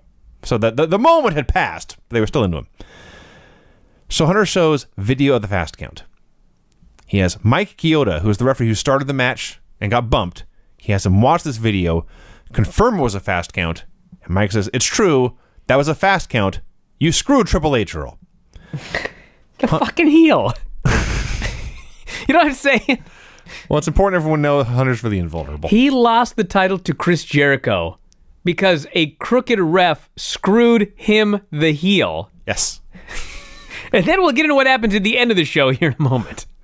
So Hunter dismisses Chioda. He starts to bully and harass Earl, demands he, he reverse the decision and throw out the match. It never happened. Nobody here saw anything. Earl says no, and everyone cheers. Then Earl forgets his line for a long time. They all stand there looking at each other. Finally, the camera goes behind Hunter so that we don't see Hunter telling Earl what his line is. Earl has a condition. He will reverse the Forgetfulness. he will he will reverse the decision as long as Hunter promises that nobody touches him for the rest of his life. Oh God! Now So- the now the babyface referee's a fucking moron. Well, now Hunter, he didn't see what was coming immediately. Hunter- I sure did. after giving him his line, Earl fucked it up, and Hunter has to correct him. And Hunter says, "Let me get this straight. We can never hurt you as long as you're an official." So Earl says yes. Hunter agrees. Earl reverses the decision. Hunter sends Earl to get the belt from that sawed off midget Chris Jericho. Oh, can you imagine? Jericho comes out. He's wearing the belt. He's the goddamn world champion. And he is pissed off and defiant. And he says something about how Stephanie has slept with half the boys in the locker room. And everyone goes, ooh. And then Chris Jericho removes his belt and gives it to Earl Hebner and goes away. Yep. What? What? What? Yep. That's what they. That's what they did. This was worse than Vince Russo walking through Chronic on Nitro. Hunter or uh, Jericho saying okay and surrendering his belt and going away. So Earl goes back to the ring. He puts the belt on Hunter, and Hunter, you'll never guess what happens. Everybody, I, I can't guess. he's Don't the, tell me he fired him. Earl's in the Riot Squad. No, Hunter fires Earl and beats him up. Oh, I can't believe it. Now the fans Because he's no longer a WWE official. That's amazing. It's a, it's a loophole that no one could have possibly seen coming. The fans were chanting for Rocky because he's a huge star. The fans went hog wild for Chris Jericho, who we know is there and is watching. We just saw him a minute ago. Outrun a bunch of refs to make the save. Yeah. At this point, and we're not even to the end of the show yet. At this point, Chris Jericho is worse off than he was when the show started. Eddie Guerrero was backstage studying for his degree. GD. By yes, to clarify, his GED, because Eddie Guerrero in storyline is a high school dropout. He really bad wants his G. I'll credit this for, this for him. He wanted to improve himself. yes. But Chyna says not now. You have a match. The Guerrillas of Destiny are God. They should have a team GED. They're dumb. Think about that idea. Dumb, you say. Linda arrives. She is greeted by the Stooges. I'm not saying the people that have GEDs are dumb. It's just, you know, The Hardys. graduated high school yet. The Hardys versus Granny only made it to eighth grade. the Hardys She's versus not dumb. the Hardys versus Essa I could go on and on. People Keep keep trying to pry that foot out of your mouth. Okay. The Hardys versus Essa Rios and Eddie Guerrero. you fucker. For the first time, the Hardys and Lita are on screen at the same time. Yeah. Oh my God. So it's Eddie with his Latino Heat music and Essa Rios against the Hardys. Yes. But Lita is with Essa Rios. Yeah. Okay. So I'm watching this, and first off, this is what happened, everybody. I'm not making this up, okay? I never graduated high school, by the way. Just want to throw that in there. So Jeff goes up top for the senton, and Chyna responds by grabbing his balls, Fact. Squeezing as hard as she can, On his balls. tossing him by the balls Yanking him by the balls. onto the top rope where he's crotch. Oh, he lands on his balls. Why didn't he retire? That was the most devastating maneuver I've ever seen in the history of wrestling. so then Lita goes up top and she goes for a moonsault and she hits Eddie. And then they explained to us that it was an accident Yes. and she was aiming for Matt.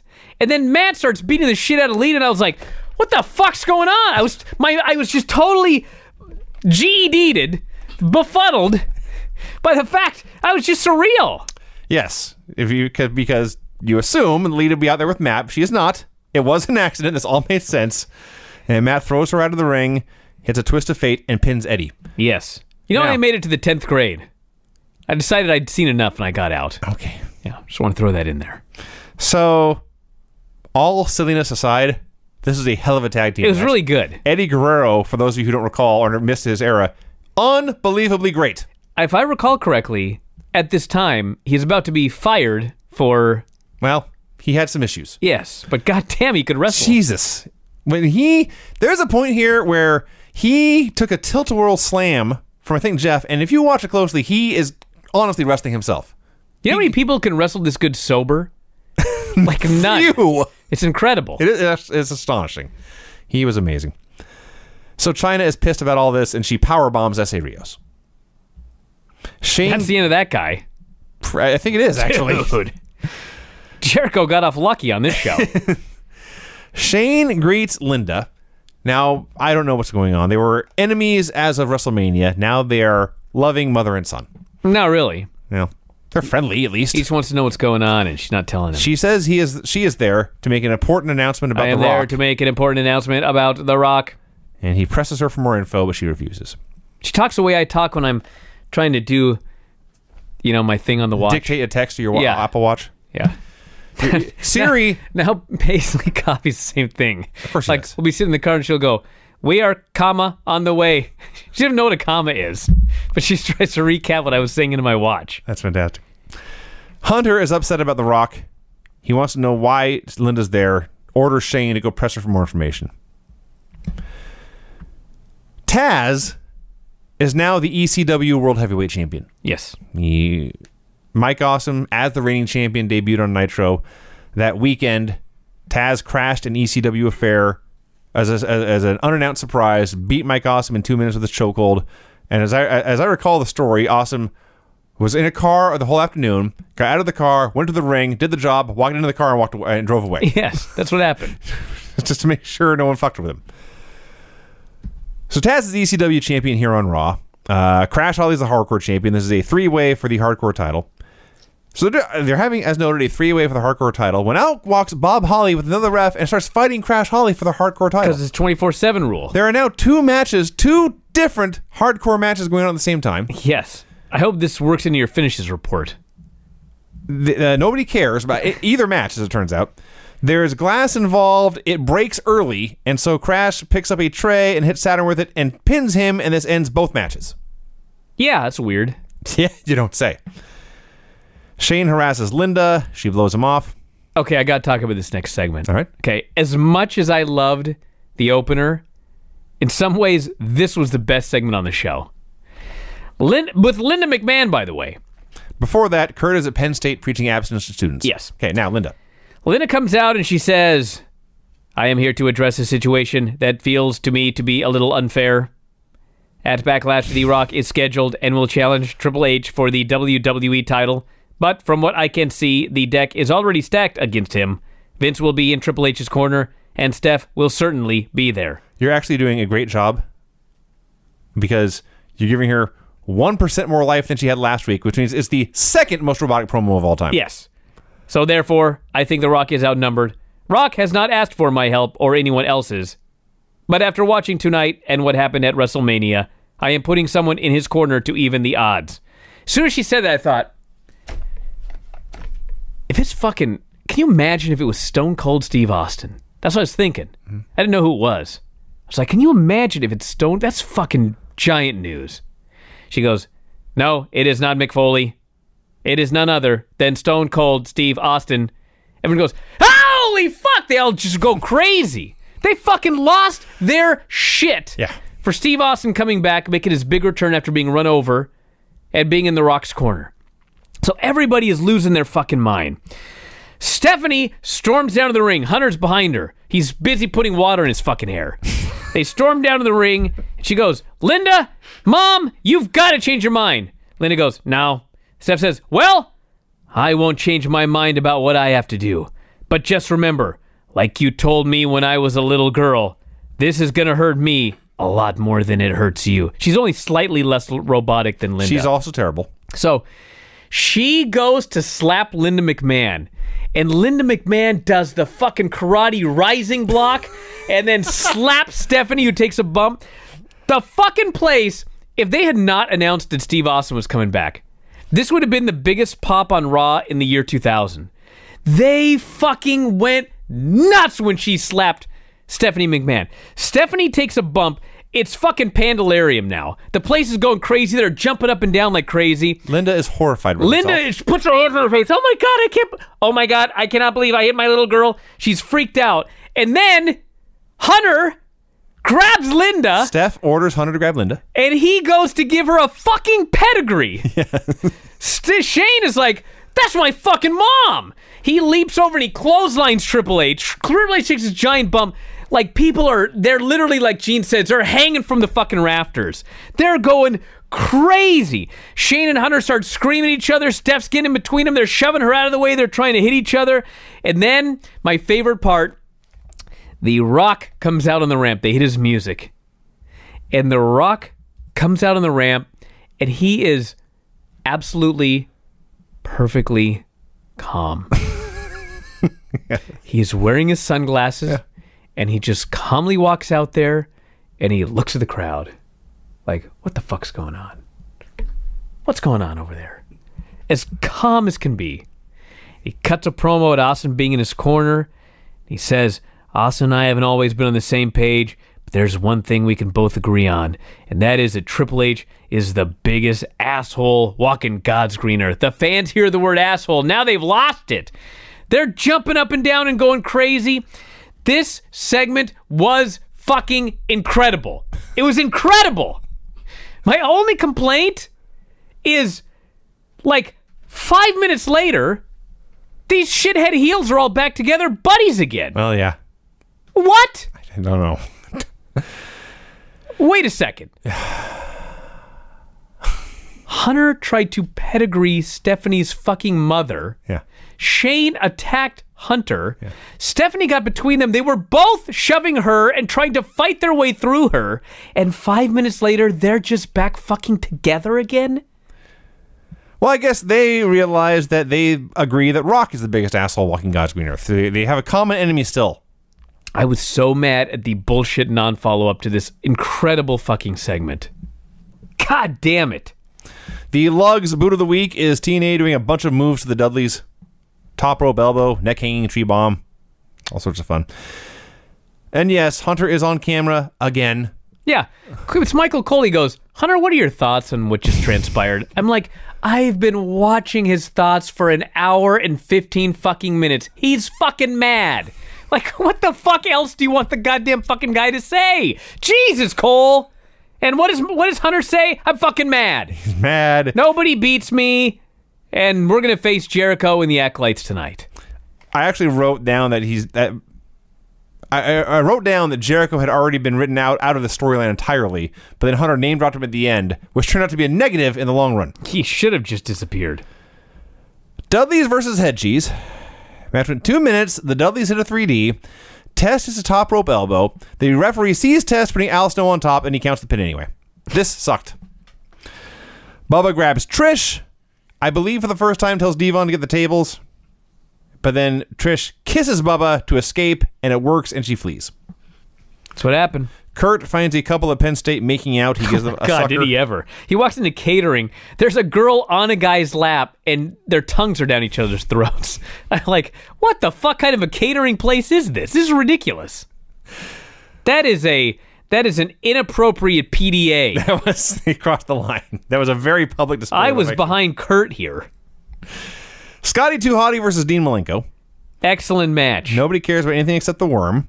It was very was very good. And Dean gets the cloverleaf, but Scotty gets the ropes. So Dean tries a superplex, but upon impact, Scotty hooks, hooks the uh, leg cradle and gets the win. Scotty Too Hottie is the light heavyweight champion. Yes. Okay. Was this the Dynamite Kid finish? Who did Yes, this? it was Randy Savage Dynamite Kid. Yes. So Scotty's the light heavyweight champion. He celebrates by almost doing a spin Rooney. He did the spin, he does not get the Rooney. Hate that. Kurt is continuing his spiel at Penn State when the Big Show arrives, passing out condoms to the youngsters. Yeah. he uh, they cut the show show he's throwing out condoms to everyone and they pan back to an outraged kurt angle and show right, recites a poem which you couldn't quite hear because he's off camera and the mic's focused on, on kurt i believe big show said wrap the hide ride the pie Huh. i think that is what the big show said. That would lose on the Granny Show. That's a horrible poem. It really is. It really is. If any of you can decipher what he said and correct me, I may be wrong. But I listened to it like four times. You know what you should have done is turn on the closed captioning. I bet maybe I should have. Maybe it was on there. Chris Benoit versus The Big Show. Okay. So first off, Big Show has more new music. He's had as many themes as turns at this point. He comes out here to face Chris Benoit, and it's the Fat Big Show that's soon to be sent to Ohio Valley Wrestling. And I'm like, fuck, Chris Benoit is wrestling the Big Show. I was wrong. they had a great match. Benoit beat the shit out of Big Show. Big Show got fired up and beat the shit out of Chris Benoit. The only negative was the crowd was dead. But I mean, they worked their asses off. And then Show went for the choke slam, and the finish is Chris Benoit kicked him in the balls for the DQ. That was the best they could fucking come up with. I guess so. Especially since Angle came out and attacked Show anyway. So, yes. In, in his entire career, nobody did a better job of making the Big Show look like a big, scary, giant monster than Chris Benoit. He had that one fantastic choke slam he took on Nitro. Here, when Big Show does a throwing press slam, he presses Benoit over his head and throws him high in the air, and Benoit just takes this perfect bump down onto his belly. They go out of the ring, and Show presses, throws Benoit over the top rope into the ring again. But then, at the same time, when Benoit cuts him off, he's so damn aggressive and so good, it's believable that he's beating up the giant. Benoit was very good at his job. And then they did a shit finish. He punted Big Show in the nuts, and Angle ran out. He also attacked Big Show's nuts. Edge and Christian versus the Big Boss Man and Bull Buchanan. Has anyone pointed out that Roman Reigns stole his gear from Bull Buchanan? Do we see that already? I mean, the whole shield, but I guess so, yeah. So the boss man, the highlight of this match is when the boss man makes a cover and Teddy is out of position and he's late to count. And he finally drops down and counts one, two, and there's a kick out.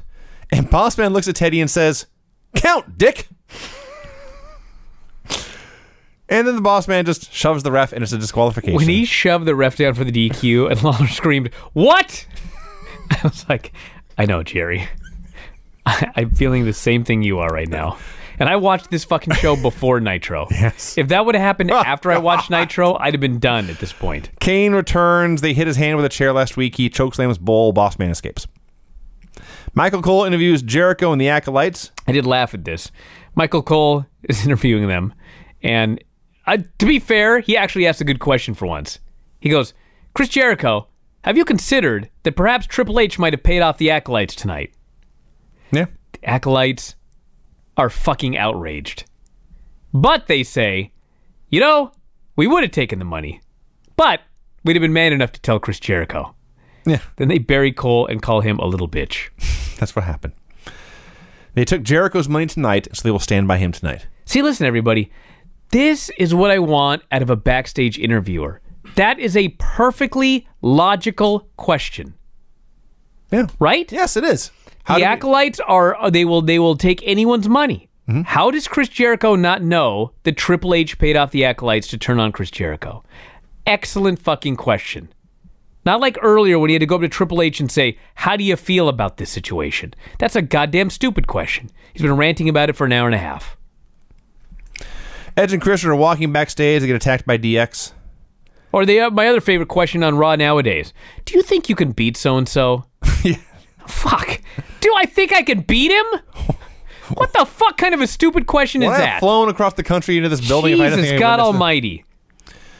Jericho and the Acolytes versus DX. Do you think you can beat Marko Stunt? Let me fucking think about this. Are you fucking kidding? Chris Jericho and the Acolytes versus DX. So having this giant six-way brawl. When Edge and Christian run out, they brawl with DX, and DX and the Acolytes and Edge and Christian all go to the back. There's these Hunter and Jericho in the ring. Which, by the way, apparently the rule is if you attack somebody far enough up the ramp, It's not, it's a, not a DQ. There's like a line, like in Sleepy Hollow. Like if you brawl past this line, like you're just out of the match. You know what I mean? Yes. But if you're closer than that line, it's a disqualification. Yes. Or the referees are all nearsighted. So Bossman and Bull Buchanan come out for some reason. The Acolytes attack them. I don't know what's going on. And then, of all the finishes to do, Can I explain this finish? Because I rewound it. just to make sure. Because no, I saw the very end. I see. But then I thought, what led up to this? I'll just tell you the way I saw it. So all this shit's going on. I'm trying to recap it. All right. And all of a sudden I look up, and Hunter has hooked Chris Jericho for the pedigree. He pedigrees him. He covers him, and he pins him in the middle of the ring. I thought, what led up to this? there must have been a weapon shot or Sure. an interference, maybe. So I rewound it, and what happened was Bossman and Bull Buchanan attacked the Acolytes. Chris Jericho was in the ring and he was pounding on Triple H in the corner. He was kicking him and he was punching him and he was chopping him. He went to whip him across the ring. Hunter did a reversal. Jericho hit the corner, and as he stumbled out, Triple H kicked him in the gut and pedigreed him and pinned him clean as a fucking sheet in the middle of the ring. I was like, of course he did. Do you remember, like 40 minutes ago, when I talked about Chris Jericho being for a, a blink of an eye, the biggest star in the company? They then spent the next hour and a half doing everything they could to ensure Chris Jericho was not a star at all. You know what's amazing about it was A lot. let's think about the finish of the first match, okay? Jericho hits his Lionsault. Hunter essentially kicked out, but the referee counted so fast that it was a pin. Mm-hmm. So Jericho didn't even really beat the guy. He did not. Okay. So then Hunter quizzes the referee, the unbiased referee, who in fact admits you screwed Triple H, Earl. Hunter didn't really get pinned. So then they have to for sure prove to us that he did not lose to Chris Jericho by making sure in a goddamn six man tag at the end of the show, he couldn't beat Bradshaw. No, no, no, no. He couldn't beat Farouk. Oh, come on now. No, no, no. He had to beat Chris Jericho and not even with a low blow No. or interference from Stephanie. he didn't Or, you know what? Play off the first match, hit him with the belt. No, he pinned him clean in the middle of the ring because he was so insecure that he thought that you might think that Chris Jericho is better than he is because he beat him in a fake match with a referee delivering a fast count in a decision that was reversed. Can you fucking imagine the level of insecurity? It's astonishing. It the, the, the, It's mind blowing. uh, part of me actually feels bad for him. To be honest, Well, don't now. Everything turned out all right. He got the guy. over it, yes. But Jesus, God fucking Almighty, Like, holy God! they could not have done more to assure you, the viewer at home. Don't worry, viewers. Chris Jericho is not a star. no, he's still a mid card. Everybody, Yes. Don't worry. There's no- you- he's not being elevated. No, we he- promise. No, you don't need to go buy his merchandise or cheer for him anymore. He's still merely a sawed-off little midget, Chris Jericho. I was aghast when this show was over. I was furious. we everyone remembers the opener match. Of course they they, do. remember the moment, and they remember the moment where they take the belt off Jericho. I don't think anyone remembers the end of this. I, honest to I God, didn't. Honest to God, I didn't even remember when he had to give the belt back. I only remembered the match and him winning, and I knew he had it. He didn't have it by the end of the show. Yes. that's my only memory of it.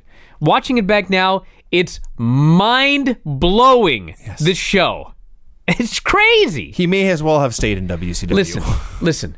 You don't want Chris Jericho to be the champion, okay? You want to keep the cha- the belt on Hunter so he can drop it to The Rock. Fine. Like, you had the opportunity on this show to make Chris Jericho, whether he's a champion or not. You have a chance on this show after the reaction he got for winning the belt. You could have very easily changed the main event finish. You could have Jericho beat Triple H. Actually, you couldn't because they're doing the Rock match. But you could have Jericho beat anybody on that other team. Mm-hmm. Give Jericho that big win. Send the fans home happy. This fucking guy got screwed. He got screwed tonight, but one of these days he's going to be back for that title. Make a star. Try. Nope. Try. They fucked the whole thing up monumentally. They could have had Hunter escaped, but man, he tapped out the Road Dogg. Nope, nope, gotta pin him. Gotta pin him. So, uh, a final postscript on this before you start the music. Chris Jericho, on I, I believe one of the very first episodes of his podcast, had Triple H as his guest, and they talked about this show. And Jericho was talking about how badly the fans in that building wanted him to win and be the world champion. And Hunter says, and this is a quote: "Yeah, but at the time, my attitude was screw Jericho." Well, He did. he Mission accomplished. yes. So there you go. Hopefully he's a changed man now. Let's go to the music.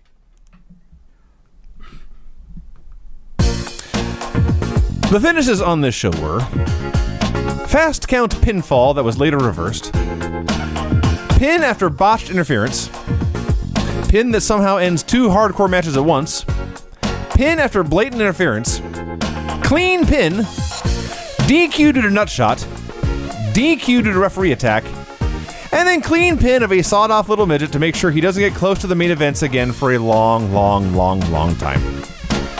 What a night of action thing. WWF Monday Night Raw number 361, April 24th of the year 2000. Kurt Ang- Angle comes out for a promo to open the show. Yes. He, I guess I guess this counts as making him a main eventer now. Is the show opening promo. He explains that he is setting aside his quest for championship gold to focus on the Big Show, who is a big ass. He does not appreciate big asses, which brings us to his opponent Rikishi. Welcome to 1999. No appreciation of big asses. There really wasn't. It's all changed 19 years later. When, when did Baby Got Back come out? It was older than that, wasn't it? Years before that. Yeah, but that was like Yeah. a that was like a comedy song at the time. Not really. Yeah, I like big butts. It's And I cannot designed to be laughed at. Mm-hmm. Yeah. Now, it's serious business. Anyway, Angle and Rikishi. Kurt Angle versus Rikishi. Because it's fun for a minute, and then Angle just throws the ref into Rikishi for the DQ. Uh, the Big Show attacks. Angle gets a stink face. Show gives Rikishi his glasses. Rikishi dances. You know how many times I wrote in this report here, nothing match, Yeah. nothing match. This was a show full of nothing matches. nothing match. At least the main event was not event. a nothing match. Yeah. Uh, the oh, Craig, you gonna? I was just gonna say when Angle takes a stink face, he really gets up in there. He, he does. He's a pro. He really is. I'm sure in the thousands of wrestling matches Kurt Angle had, he smelled every part of everyone's body at some point. Very- so that's a good point. just used to it. Uh, announcers, by the way, during this match, uh, acknowledged X Pac had a family loss, had lost in his family, which is why he was not on the show. Speaking of which, the DX Express arrives. Hunter and Shane get off. Was I the only one that expected a huge cinder block to fall on top of the DX Express? I know it's much later, but I've actually forgotten what happened. I have to the no DX idea what you're talking about. you've got to be kidding me. No. No. Rob's lost all respect he had for us. And it wasn't much to begin with. No, no. Wow. Well, we'll find out when the angle He's, happens. he's known us. I don't blame him. So Trish is in her underwear. Let's let's let's backtrack. The DX Express arrives. You want to talk about that? They're playing their own theme as they travel town to town. Doesn't everybody? Absolutely are. You don't go blasting California Love. It's one thing go? to like have your own theme music on your ringtone uh-huh. because like, you know, how many people call you during the day? They're too traveling town to town and playing their theme song on a loop. On a loop. Okay. that's Hours and hours. fucking creepy. And they get off the bus and Hunter and Shane are all buddy buddy Mm-hmm. after getting in a fucking fight on TV last week. right. I was infuriated. They, they did ex- get to it later. They got to it later, but I was pissed off when I saw these guys eh, show up together. You're pissed off about it last week, so I'm sure you're even more pissed off now. Yes. Can I talk about Trish in her underwear now? Well, she was in her underwear doing table porn. So Okay. they did like a half dozen of these, it felt like, throughout the show. It's Trish in various forms of lingerie, I mm-hmm. guess, various outfits. And someone had to write a half dozen promos filled with innuendos about how Trish was turned on by tables. Right. Yeah. I could not have done this. I couldn't write this many uh, uh, uh, sexual promos about tables. These people exist, Vinny. I guess so. Very creative. I, I, was, I was watching Trish in her underwear roll around in this table. Like I think, imagine if a non wrestling fan walked in right now, Right. and had to explain to them why this woman was so turned on and aroused by this furniture. Well, Jim Ross said she was taunting Bubba, I see. And Lawler thinks she's smitten with Bubba. Now, did she get new enhancements, or is this just a really? No, She's are you kidding me? always been like you that. kidding me? Yeah. Since I, I believe since her very first camera shot with the company. I see. Yeah, that's what she said. Uh, Shane, Hunter, and Steph come out for a promo. They promise Vince McMahon is coming, so everyone stay tuned. Back then, everyone stayed tuned. They did actually, yes. I, yeah, I was not. Even today. I'm sure they do. Well, they didn't have an hour three.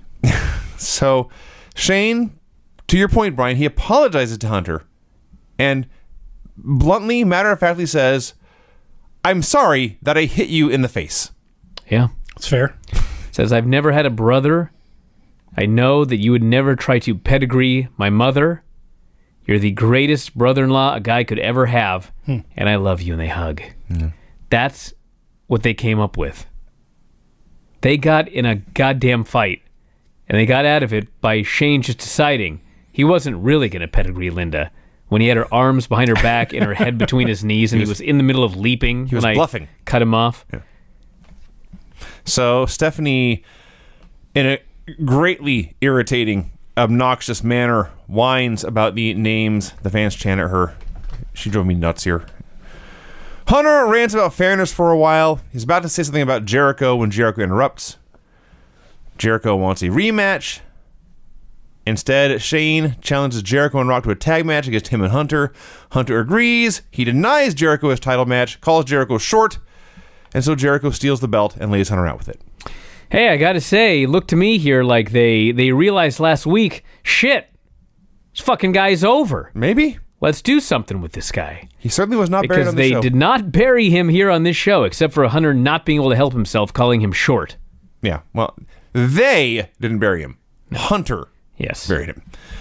Uh, during the oh, at first Eddie in Chyna, Eddie got his GED, and now is getting ready for prom I was unaware that you get to go to prom after you finish your in your GED. thirties. I'll have to finish my GED so that I can go to prom. Please do Yes, uh, and report back. So it's gonna take a while. during the break, Benoit attacks Jericho, leaves him out backstage. because Benoit and Jericho are fighting for the Intercontinental title on Sunday. Yeah. So it's one of these things about this whole thing that just made me mad. All the stuff they did last week, and then all the stuff they're doing this week, all it's doing is muddying everything up. Well, yes, It's supposed to be Triple H versus The Rock, mm-hmm. where someone's finally going to beat Hunter, And I guess Jericho is supposed to be challenging for the Intercontinental title, but because of what they did last week, Hunter's been beaten. We saw it. Rock fucking vanished until like three quarters of the way through this show. He had one promo last week. We never even saw him. He's fighting for the title next week. Like Rock just dropped off the face of the earth. They're pushing Jericho, but then they changed their mind about it in the middle of a fucking show yesterday or last week, and they undo everything. Now they're redoing it again, but that's not even the match. It's just, it's like watching the show now. Harsh words. Like, What the fuck is a match supposed to be? What match am I supposed to care about right now? Right now, as a viewer watching the show, I care about Jericho and Hunter, Which is not the match. but you're that's getting. not the match. Yeah. It's The Rock and Hunter. And then Benoit's just out there having great matches, but apparently I'm supposed to care about his match with Jericho. Yeah, this is a go home show for Backlash. Yeah, that, that's a key point. We haven't mentioned that yet. This is the go home show. And they're not doing it very well. no. Road Dogg versus Benoit. Road Dogg in his promo mentions if you ain't down with Dennis Knight, I got two words for you. Pig Farmer. Did Mideon get fired this week? I don't know. I assume. I think so. Edge and Christian come out on commentary. They are facing Road Dogg and X Pac at the pay per view. And they're doing the new gimmick where they're shooting, mm-hmm. dropping insider lingo. They hit the announce desk and say, We're going to interfere and cost him the match. In wrestling circles, they explain, that's called a run in.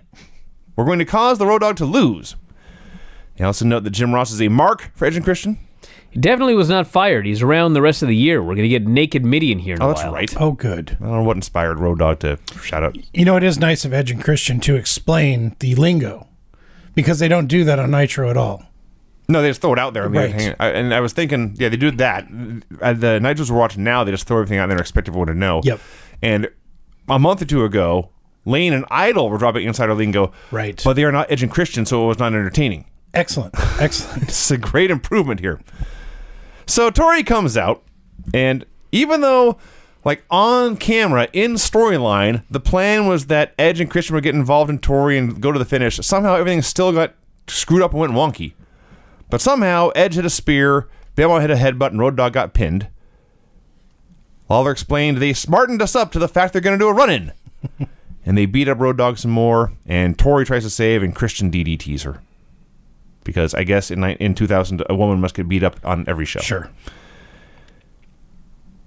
Angle meets with the APA. This was funny. He wants to pay them to beat people up. Hey, they made a very good point. We're the Acolyte Protection Agency. Yes. That's right. We don't beat people up, we protect people. Mm-hmm. Which, of course, in WWE involves a lot of beating people up. That's a very So, so Kurt should have come in, and what he should have said was, "Can you protect me from the Big Show?" Right. By beating him up. Well, I mean, if Big Show comes after him, then there there's provocation. I suppose so. I'm not just going to go after them. But yes, you're, you're correct. Bryan. honorable. In in this in this uh, in this world, it is a very gray area between protecting people and beating somebody up. So they're about to, to to take his offer, and then he begins to lecture them about cutting down on drinking and smoking and the women, and get some nicer furniture, and they And swearing. and no cursing, and they get mad at him to kick him out. He also made sure to call out Bradshaw's hand that he had at the time, and uh, Bradshaw was very upset and threw a beer. Oh, the poker hand. yes. Yeah. Yes, he he he, he complimented him on his. I believe it was three queens. Right. Yeah. Boss Man and Bull Buchanan are hanging out talking to Stephanie. Okay, this segment was awesome Yes, it was. because Bossman and Bull are in there. They're talking to Steph about God only knows what. Uh, the conversation possibly those three would have. discussing. so Kurt Angle storms in and he's mad, Mm-hmm. and Stephanie says, "Oh, Kurt, why are you so upset?" And he explains the APA kicked him out because he wanted them to help beat up the Big Show. And suddenly he stops and says, "Wait a second, Boss Man, you don't like the Big Show." And the boss man gleefully exclaims or explains mm-hmm. Both. how he took the big show's daddy's coffin and drove it all over the land. And literally, Kurt Angle turned into Granny. Mm-hmm. because as the boss man is gleefully explaining this crazy thing that he does, uh. Kurt Angle just looks at him for a second and goes, So, anyway, could you help me beat up the big show? Yeah. And Stephanie says, Oh, that's a great idea. I'm going to make sure that we get that match signed. Boss Man and Bull Buchanan versus the Big Show in a handicap match. And Kurt says, Thank you, Stephanie. And she melts into a puddle You've never seen a woman so smitten. in her in her shoes. She's she, she Smitten with Kurt, this guy. because we know that Steph's been infatuated with Kurt since he showed up. Right. Yes. This is the first time they've been on camera together. And when he not only acknowledged her, but thanked her for the favor she had done for him, she's now she knows she's on his good side and she's done. She's done for. I'd I'd forgotten that they were doing this storyline and they just brought it back here. Mm-hmm. Awesome. That's fine. That's great. They don't, they don't actually pay it off. but Fuck no, they don't. But enjoy it while they build it. The bill is so At least you can learn how to build a feud. Don't pay attention to the payoff. It was a long, long term, and then they had one kiss, and that was it. Spoilers, dude. Oh, Come on, Craig. was it Kurt cute or cute Kurt? Cute Kurt. That's right. No, it's Kurt Cute. Was it? I think Yes, so. it was backwards. Like they, when they, they do battle rap, they're they're they're just they always do this shit. What Yes, battle rap? Yes, that's what they call it. It should, when you're gonna, it should be a rap battle. Well, they call it a rap battle. So Anyway, I'm moving on. Hollies versus Hardys. It goes two minutes. Crash hits Jeff with a trash can lid, and Bob hits a drop kick and pins Jeff Hardy. yes, mm-hmm. powerful drop kick. A nothing match. However, Crash is still the hardcore champion, so the Hardys jump him. To be fair, at WrestleMania he announced there was no longer 24/7 rule. no. Oh, it came back. I They guess. forgot it. And Oh, okay. So this continuity editor isn't the best. He's still dealing with Vince. Hmm. so, yeah, the Hardys attack, and Saturn and Taz and Hardcore are out there fighting, and Jeff it's a senton, but Matt Hardy steals the win. So, Matt Hardy, your new hardcore champion, you may update your record books. Chyna likes her dress for the prom, but she does not like Eddie's jacket. Isn't it funny how Eddie Guerrero for years was just Eddie Guerrero, and he's been in WWF now for like three months, and he's Cheech. Yep.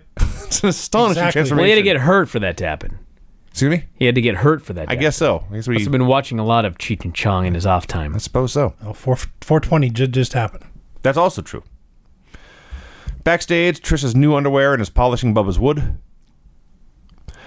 She was. It was a, it was a table. It was a table. Big Show and uh, Big Show versus Bull Buchanan and the Big What Boss a Man. fucking hideous match! This match is fucking awful. It's horrible. Un- if you took these same three dudes and said go do a two a, a 80 second match, I timed it. How, how many things can they fuck up at 80 seconds? If you told these three men go wrestle for 80 seconds 100 times, it'd be better than this 100 times. Oh, I'm not sure. Did you watch the match? It was awful. There's a decent chance it would be better 50 times and worse 50 times. Who decided we'll have Big Show run the ropes over and over and over again? Well, they probably figured it's 80 seconds, so the guy can run for 80 seconds. Guessing Big Show didn't bring that up. They'd have probably done it every time. So they have this fucking horrendous match. Kurt saves the day by running in. no, he doesn't. He runs in. He still can't figure out how to get Big Show for the Olympic Slam. They tried nine times before he finally got it. All I him. know is the match ended, so I'm happy. And APA came down, attacked Bull and the Boss Man. So yes, this is a disqualification. Vince McMahon arrives at the building. Trish McMahon, uh, Trish McMahon, Trish Stratus is uh, talking about she likes Bubba's big, strong legs. Mm. She must have seen his calves. Yeah. Does have big calves. Cavzilla, he called himself.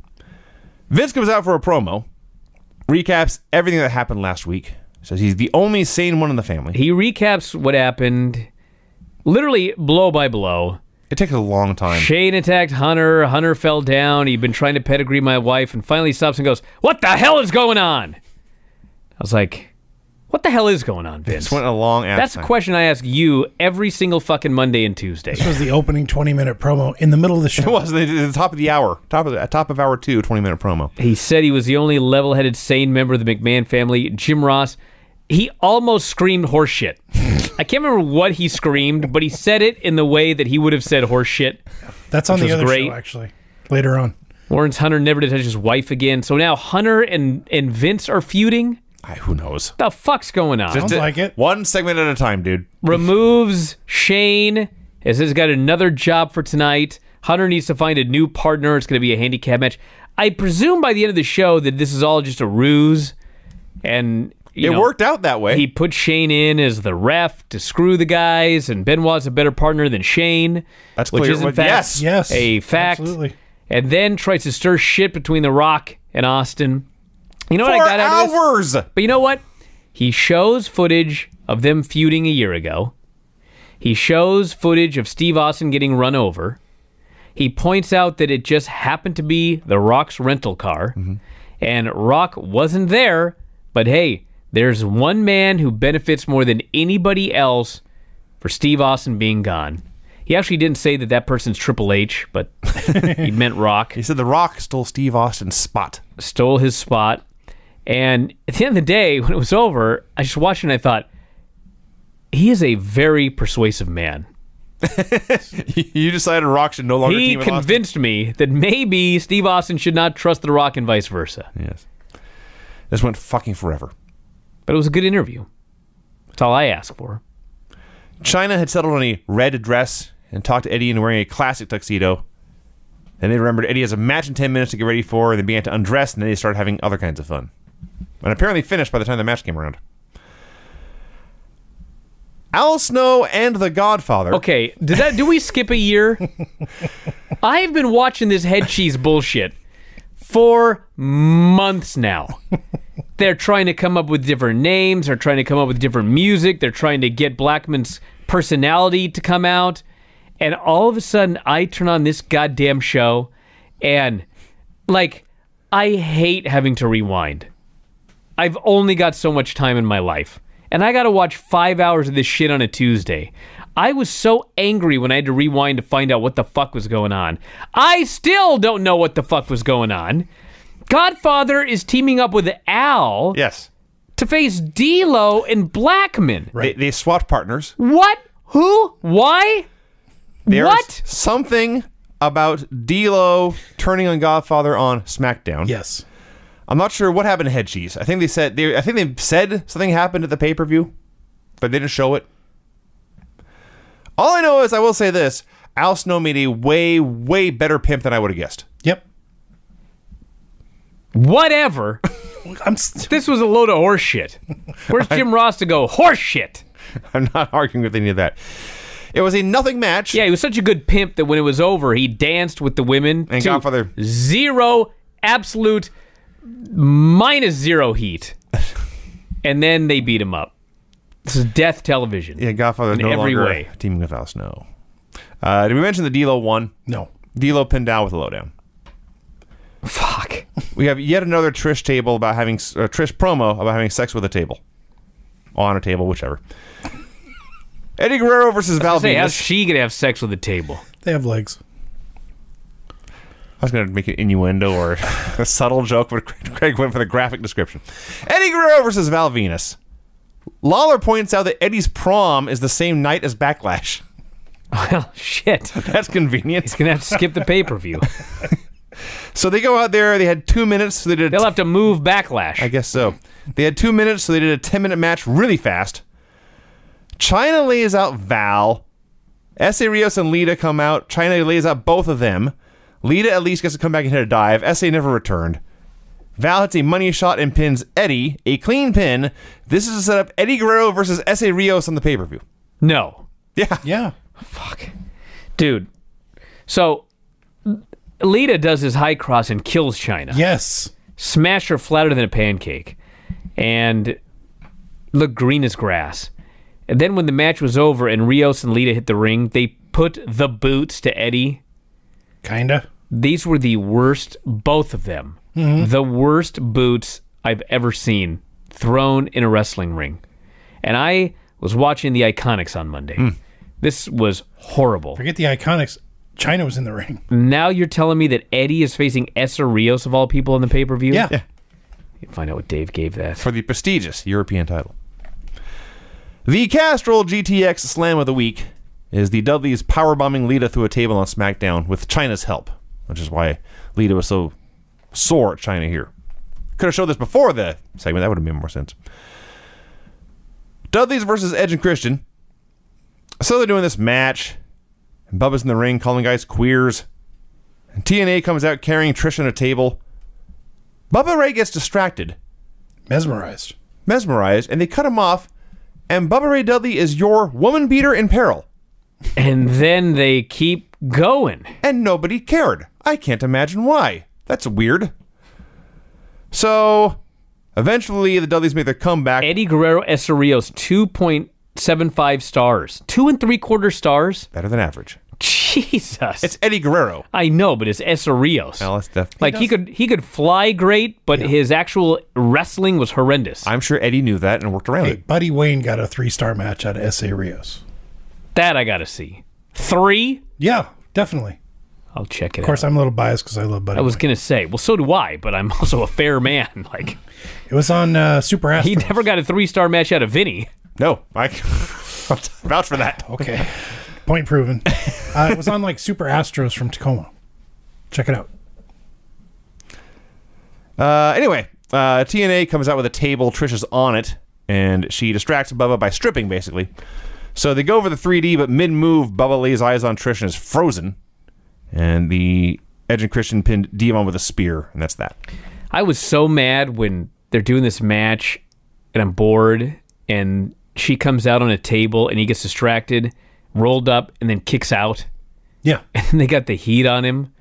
And then the whole point was she just distracted him a second time. Right. Then he got pinned. Yeah. What a fucking waste of time. Do you know how good the main event was? And they could have just added three more minutes to the main event Would've and better. just ended with this fucking roll up in this match. They had to overthink it. We had a rock promo. Yeah, Rock was backstage looking into the camera and talking into a microphone. Yeah. And it was awesome. He said nothing. And it was so great.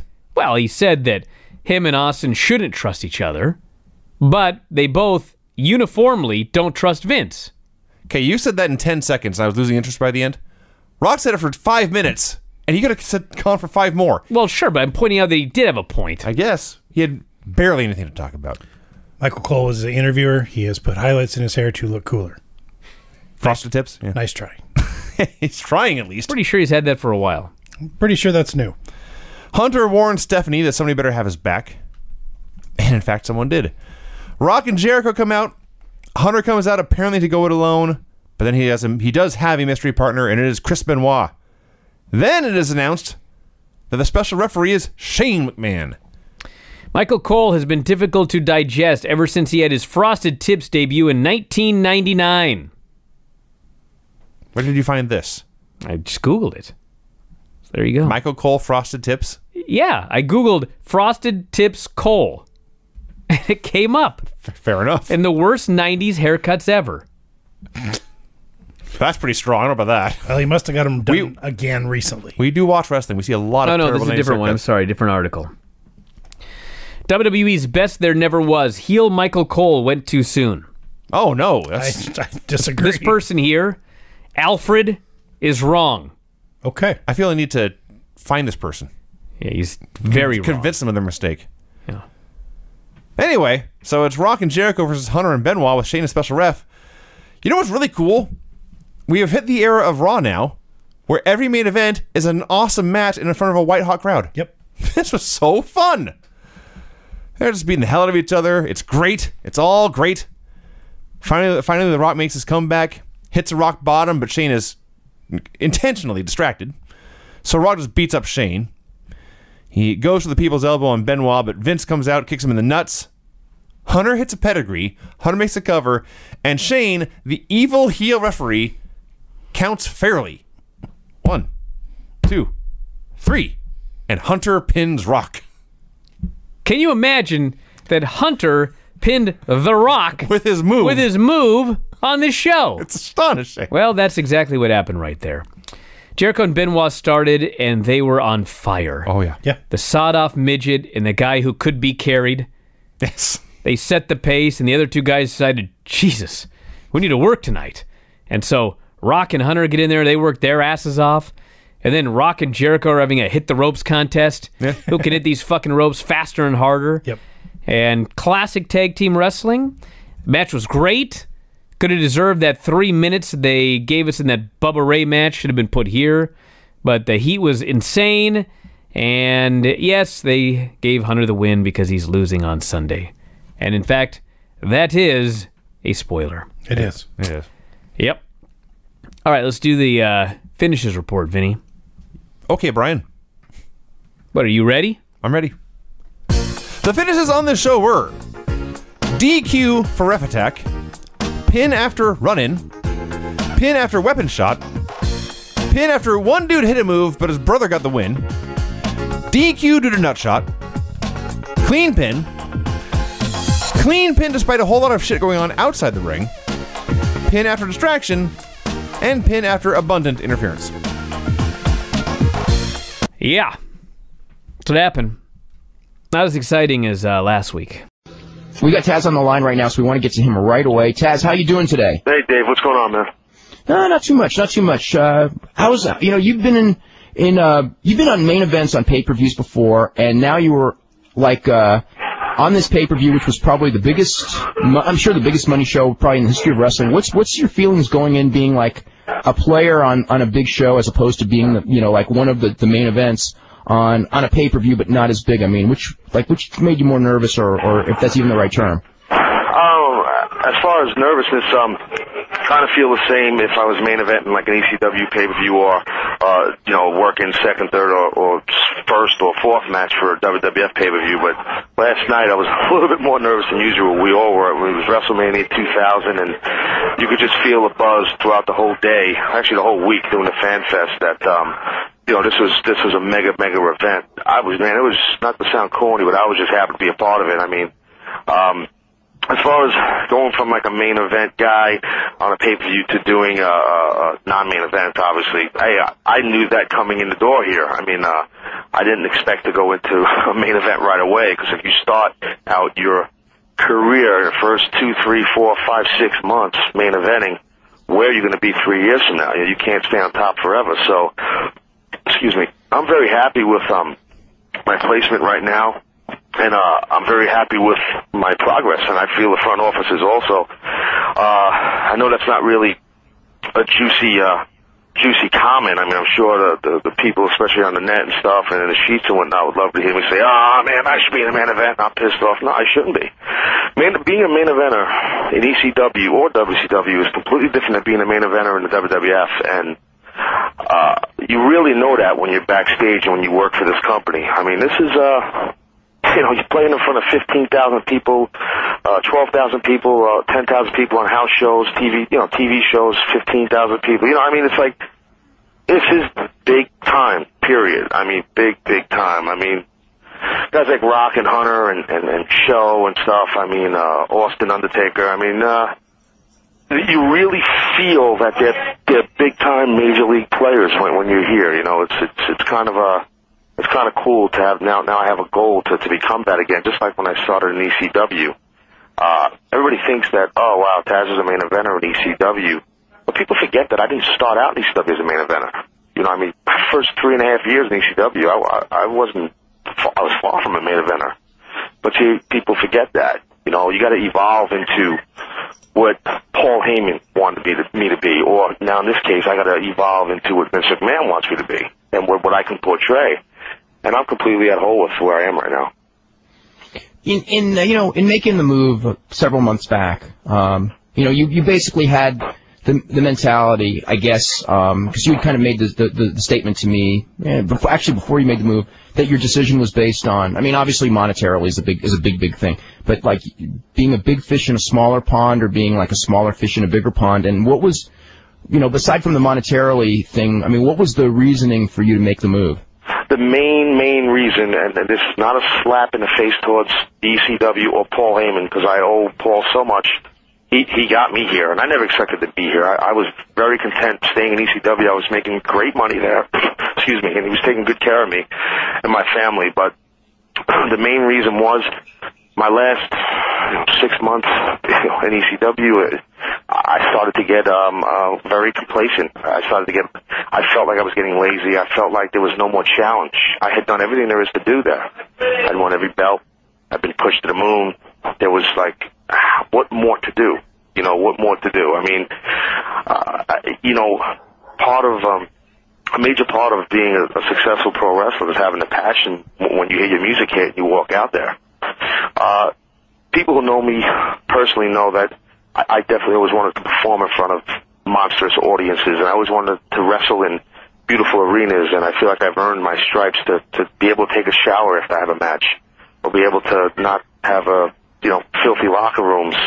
Uh, but that wasn't the main reason. The, the, the, the, the, those filthy locker rooms and those smaller arenas uh, made me a good living for a long time and got me to this level. Um, but the main reason, in a nutshell, is I started to feel a little bored. You know, my training was affected by it. I wasn't training as hard. I wasn't. I just wasn't. I started to lose that passion. You know, now coming here, you know, it's like I'm getting a whole a whole new realm of people to work with. You know, different people I've never worked with, or people I haven't worked with in years, and you know, uh, the challenge of not being the top guy and and politics don't play a major role in this company, uh, unlike other companies. So I mean, um, it, if you start getting bored, if you start getting like it's too easy for you, then then you have no challenges, and then you can't, you know, can't achieve nothing. And that, I'm the type of guy that I want a challenge. And let me tell you something, I got a hell of a challenge here. What's a what do you have? Do you have like a short term goal as far as like people that you wanna you wanna be in there with, or uh, you know a direction that you want to go, or is right now you're just kind of uh, waiting waiting for something to be given to you, I guess, or something. Well, tonight, after I don't know if I'm really allowed to disclose what's happening tonight, but tonight I kind of uh, I'm heading in a direction that I want to be in right now, and uh, uh, I'm starting a, an angle tonight with someone. So um, someone that that it's going to be real cool, uh, and I think we're going to have some really strong matches, and it's a, it's a pretty uh, it's going to be a pretty entertaining program. Um, so I'm happy about that, and and short-term goal is a good way to put it, Dave, because that's the way you do this. You know, when you work here, you know, you, after I do this program, I'm hoping to go to to maybe somebody else. I mean, for me to name people is hard to do right now. I mean, I, I definitely would like to go back to do stuff with Kurt Angle again. I mean, I feel like me and Kurt have a really good uh a good uh, uh mixture in there together. We play off each other real well. Um, I'm, I'm looking forward to working with guys like Eddie Guerrero, who I think has become a one hell of a heel here, fast. You know, uh, uh, uh, uh, the, you know, Benoit, obviously, Chris Jericho and I, I think, can do some really good business. I mean, I'd like to stay in the mix with those type guys, and, I- and I, and I think that we could do some really cool stuff. Do you expect to get like uh, more mic time w- now that you have a new program? I guess it's starting to start tonight. Yeah, I, I think that's going to start coming. I mean, I you know, so many people like on my website. I mean, they, message board. Everyone's like, "Why don't you talk more?" And I, I, I hear it all the time everywhere I go. Why don't they let you talk? Why don't you let let you talk? I mean, uh, I had to prove myself. I believe there's the reason why I wasn't talking. I had to prove myself as a competitive worker and a hard-working wrestler, and to get my character over as a kick-ass, no-nonsense type of, you know, street guy, street dog, what have you. And now, um, oh, doing a little, you know, it's a pre-tape going on right now. um, you're getting it live, right? Um, what do you call it? Uh, I, I, um, I think that, uh, my time will definitely start coming real soon. Um, uh, and and I'm I'm I'm happy about that because I'm I'm really anxious to start doing that, and and I think the front office wants me to start doing it too. And I actually was wondering this myself: is um um did you get any of that glass on that closing spot in your in your match last night in, in your eye or anything like that? Uh, yeah, I, a little bit. Um, they they they're taking it out with a like a wet Q-tip or some crap. They, I got a, a, I think a lot went in it, and then it came out as I was rubbing my eye. I was on the mat. Um, uh, it it got me pretty good. It didn't cut my eye, and it didn't cut my eyeball. I was lucky. It just uh, there was a small piece stuck in my eye that they taken out, but uh, yeah, it wasn't that bad though. I made it look worse. I made it look worse than it was. Oh, okay. they say I can't sell, you know. no. What's what's your feeling coming? Uh, what's your feeling coming off of that show? Was it as an experience? How would you compare it to say, uh, you know, an, an ECW pay per view after the fact? That's that's a tough question. A good question, but tough question. I mean, ECW pay-per-views. Um, you know, I mean, I, a lot of times I had to wait on my shoulders. I mean, it's kind of cool not having to wait on your shoulders, but I also kind of miss it. You know what I mean? So because I was used to it. Um, but the feeling after this show was uh, amazing because it was a big success. You know, we had a we had a post WrestleMania party at the hotel for for the staff and VIPs and stuff, and you could just feel the electricity throughout. You know, the building from from the boys to to, to the people who work behind the scenes to the office. You know, everybody was just so happy, and uh, it just felt like um like you know we won the big game that type thing you know? It was a real cool success party. Everybody just eating drinking having a good time and all that stuff and it was a really cool feeling and i'm new here so it was like it just felt cool to be it's a real team atmosphere here you know it really is. As far as the hardcore battle royal i was um at first, when I was told I was involved with it, I seen all the, all, you know, all these guys involved, I'm like, well, man, this is, this could be a, uh, this could, this could be bad because there's so many bodies involved. A lot of times when that happens, it gets to become a cluster, you know. Um, but it ended up, man, each minute that ticked by during that match, uh, it was cool. I mean, and I watched the replay last night, and the camera, I mean, watching on TV doesn't do any justice. I mean, if if you were there, I mean, anywhere near ringside, man, we all were just tattooing each other. Believe me. Uh, in ECW, I've done a lot of stuff like that, worked real stiff with guys, but this was this was stiff. I mean, we were going. I mean, believe me, 15 minutes too. So it was. uh We're all kind of banged up from it all of us. Uh, a couple of guys had to get stitched up. Uh, Crash Holly had to get some stitches. Uh, Pete Gas had to get some stitches. So I got a big lump on my head. A couple of guys are screwed up. So I mean, you know, but it, you know, we all knew we had to go in there and work real tight. Uh, the match wasn't a heavily pushed match on on the show, but. uh uh, I think Jim Ross put it best uh, the night before. I seen him at the hotel, and he kind of felt like that match was going to be a sleeper, and and and I felt like we did that. Now, in that, that, that very finish at the, the, the, the pin at the buzzer, mm-hmm. and on, on TV it was like one, two, and it sort of was like, was, were you were you in the right? Was was that how it was supposed to go down? Was he supposed to like be putting his hand down for three and your body in the way, or I hate to say it. I hate to say this, but I have no comment about that, Dave. Okay. I'm sorry. You have to find it out from those stores, but I, I have no comment. because it was? I mean, I, I'm sorry. Okay, this is this is this is from uh, Mike in Syracuse, and he's talking about an interview you did for RF Video, and you talked about uh, you were very disappointed how Perry Saturn left ECW, and that you would never want to work in the same company with him, and also comments about Erin O'Grady, you know, Crash Holly. Um, now that these men are in the WWF, have your opinions of either of them changed? First off, I I don't remember saying that about Perry, to tell you the truth, saying I'd never want to work the same company again. I'm not saying I didn't say it. I might have said that, but that had to be quite a while ago if I said it. Since then, I mean, for the past two years, Perry and I have definitely, we're friends. Friends fight, you know, and, but when wrestlers fight, oh, they got heat.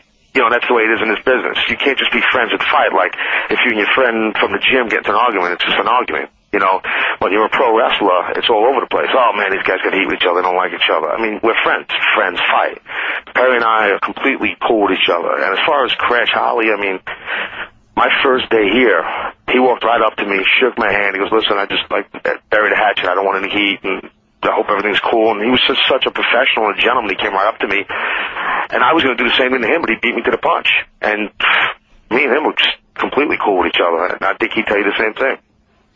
Were you, are you are you surprised at, at uh, how well he's done? I mean, as far as like a guy who, you know, I mean, it's funny because it's like uh, whatever it was a year earlier, he was in ECW and and didn't really even and didn't really make it there. Went home and then he went to the WWF, which is um, you know, got a lot stiffer competition as far as bodies and stuff. And he's actually, you know, not that he's a superstar there, but he's made it. You know, he's a he's a guy on the team and it clear. You know, I mean, he's over because everyone's over. You I know, but I feel- mean, he is over. I, Dave, I'll tell you, I feel he's a superstar. I feel, and, and this this sounds like a kiss ass thing, but I feel 99.9% of our locker room are superstars. I mean, that's the way this company's booked. That's one of the reasons why I came here. It's written that way.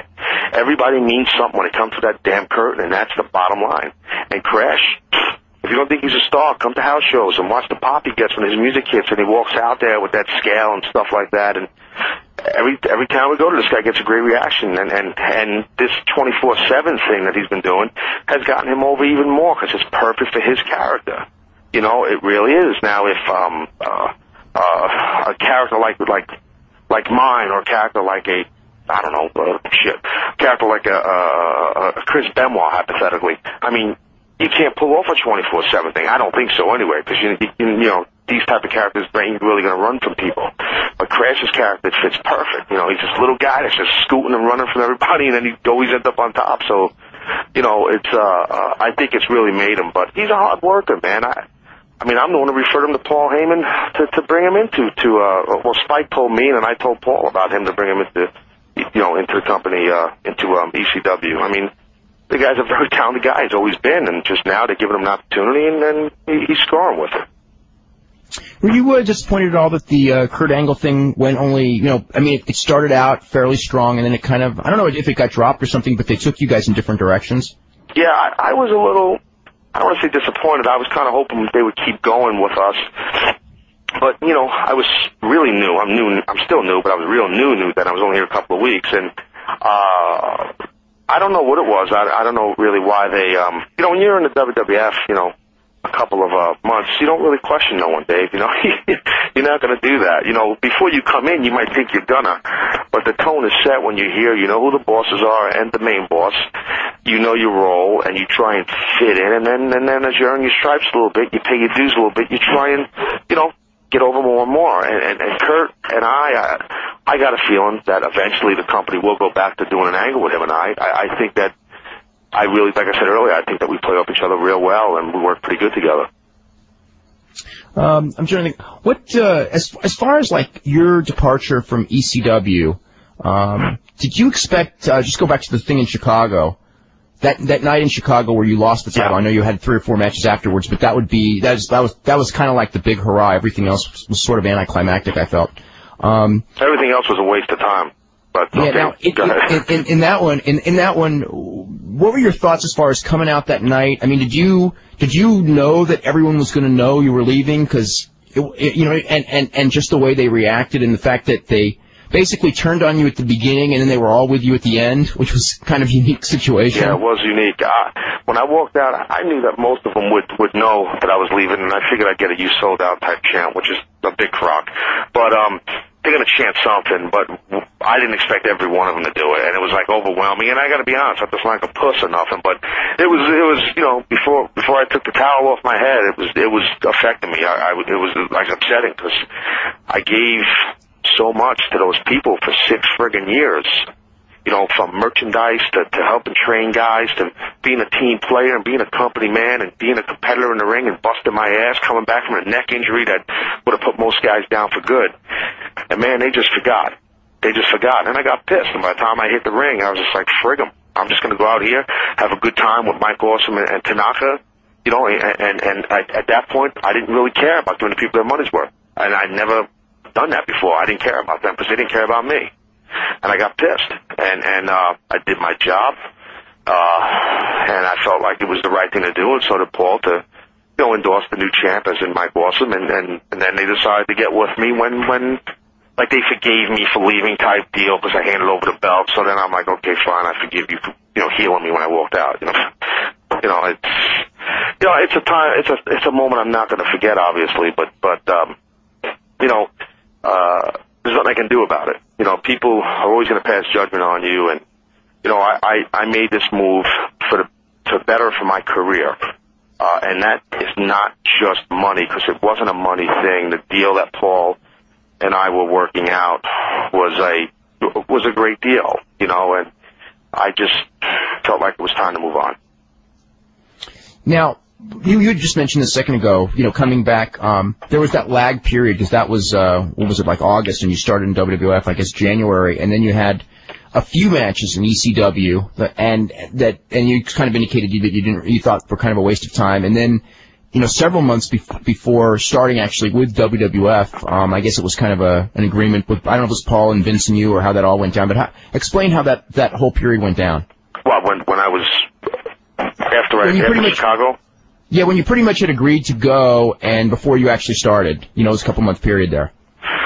You're talking about when I kept wrestling those matches. Well, it was a, it was a tense period. It was tense between me and Paul because I, it wasn't that I didn't want to go and put the guys over. I, I didn't care about that, even though all these people out there that think they know me and don't know crap about me think that I care about putting people over, and I don't. And I prove that, and prove it time and time again.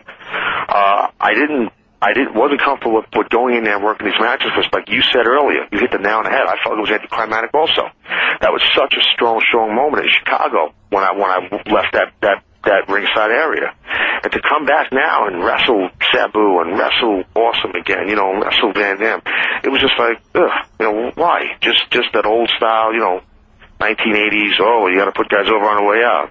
Okay, you know, it was it's just I felt like it was me and Paul were on completely two different pages with that, you know, and and and I was not happy about it. I never, I did, I never said I don't want to do it. I did tell him I wasn't comfortable doing it, and emotionally more or less, and I felt like I wasn't going to give the people their money's worth. But you know, it all worked out. It's water under the bridge. Now, um, as, as as far as were you were you frustrated at all that uh, you know it was such a long you know a long I mean because like a lot of times with wrestlers you know if they're off TV for three weeks they kind of start getting the jitters you know because you were actually off TV as a push commodity for a couple of months before your WWF start. Um, did, did you like? I'm not saying worry about it because I mean there's nothing to worry about, but just kind of get that itch of like, God, you know, I wish I was in there right now, especially with WWF business being so hot at that period. Yeah, I was. I was definitely antsy, you know, but I knew that, you know, uh, Vince would pick the spot for me to debut. Uh, Paul having me sit home. You know, the man paid me. You know, he did offer so I didn't form ring rust that I could work house shows and stuff and just to keep in the ring and, and he did offer me that and I give him credit for that, but I, I said no thanks and I just took the time to hang out with my family and, you know, my, my son was, uh, only a couple months old at the time and stuff and spent time with my wife and, and just train and stuff like that, get better shape and heal up injuries, you know. Uh, it was frustrating time, no, it, it really was, because it was just sitting home doing nothing, you know, and I wasn't used to doing that. Um, having a son, did that play, or what, what, what, uh, what part did that play in your decision to go to WWF? Or no part, of, did it play no part, or was it part of the motivation? Wait, say that one more time, I lost you a little bit. You know what, having your first son, did that, how much, did that play uh, a part in your motivation to want to go to the WWF, or was that not even part of the deal? No, a, a little bit. Not not really, Dave. To tell the truth, it wasn't like a major part of it. It was about. It really wasn't a major part of it. I mean, Paul always took care of me financially. I was very happy with the money he was paying me for for quite a while, and it wasn't that. I mean, yeah, granted, when you work for Vince, you know, there's a lot more financial security for your family, obviously. But you know, Paul's going to do great, and, and his company's going to survive. And and and believe me, a lot of people here at WWF are rooting for him. Uh, that's the truth. And, uh, um, I think he's going to do great. And then if I decide to stay in ECW, I mean, it, I, I felt the same way. I mean, uh, my, my son being born, it was a small portion, but not really, well, not, not a big portion at all. When, uh, when Eddie Guerrero and, uh, Chris Benoit, Perry Saturn, Dean Malenko all came over, uh, at the same time, and you had just started, um, did you feel good in that, you know, one of the stigmas, if you had a stigma going in, it was your height, and now you had four guys who were, you know, your size, you know, and, um, you know, or your, or your height size anyway. Right, right. Um, that you had guys to work with, they're all, you know, really, really good wrestlers that you could right. do programs with, and you wouldn't, you know, did that make you feel more comfortable, or was it just like, uh, you know, Uh, or was it not even, you didn't think about it? Uh, good question. In a way, I did feel good about it, but then it's like, well, look, you know, here's these other guys that are on the six foot. You know what I mean? But then there was a part of it was like, you know, I thought it was cool coming in here because all these guys are six four, six five, six six. You know what I mean? For the most part, not all of them, but for the most part, I felt like I could stick out. And then when the Radicalz came in, it was like I couldn't stick out because we were all similar height. You know, so you know. It, it, you know what I mean? Because even though I wasn't as big as the other guys, I figured I was not as tall. I could stand out, you know. But uh, well, I, I'm glad those guys came in. I mean, it's great for our business and and for WCW let four so talented workers, uh, young, strong workers go. I mean, it's just completely idiotic on their part. I'm just glad that you know we got those guys.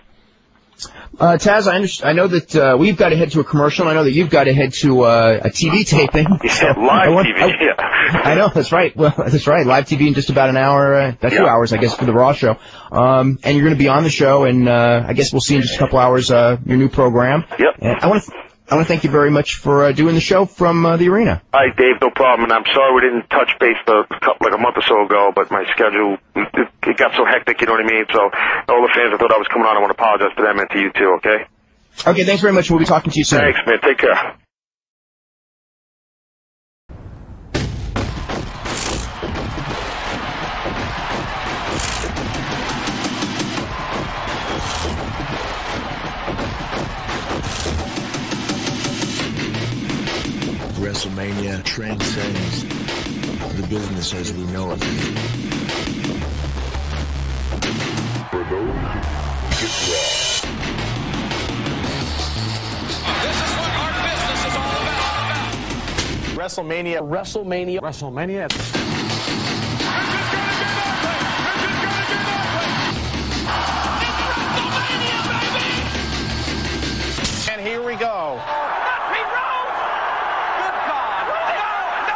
This is going to hurt.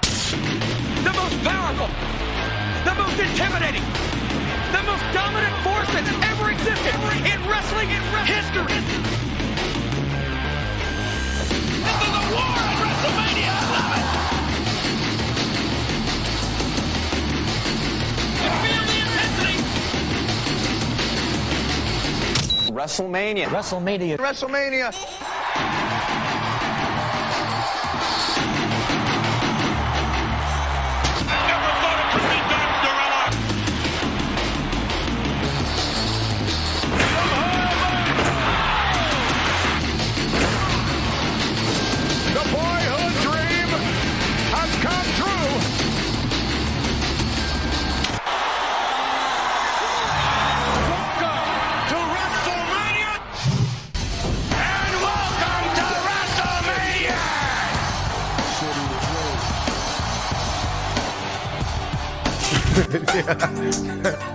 California, city of angels.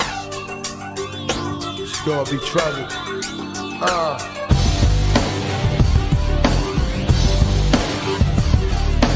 Alright, check this out.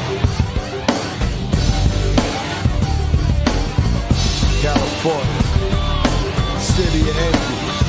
Uh, it's gonna be trouble. Uh,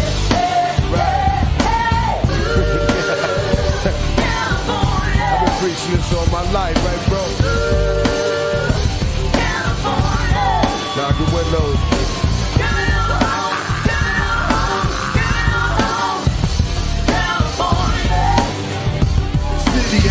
California, one hell of a illusion. Model sun strip up, four stars in movies, Compton, Beverly Hills, Hollywood Hills, Sunset Boulevard, girls walking the strip, thought scream, ghetto get started, eat, fake coolers, police abuse the laws and streets, silver stone, South City, killing zone, plastic surgery, piercing from ass to nose, drink my wood, all the way to Inglewood, nothing pretty for sure, represent you city, Van Ness to Manhattan Beach, Cheryl Street, with a homeless week, afraid to eat, ain't talk about the sunshine, wanna talk about poverty and high crime, no doubt, I ain't about the bust the bubble, California, watch out for the stormy dry. Preaching this all my life, right, bro? Knocking windows.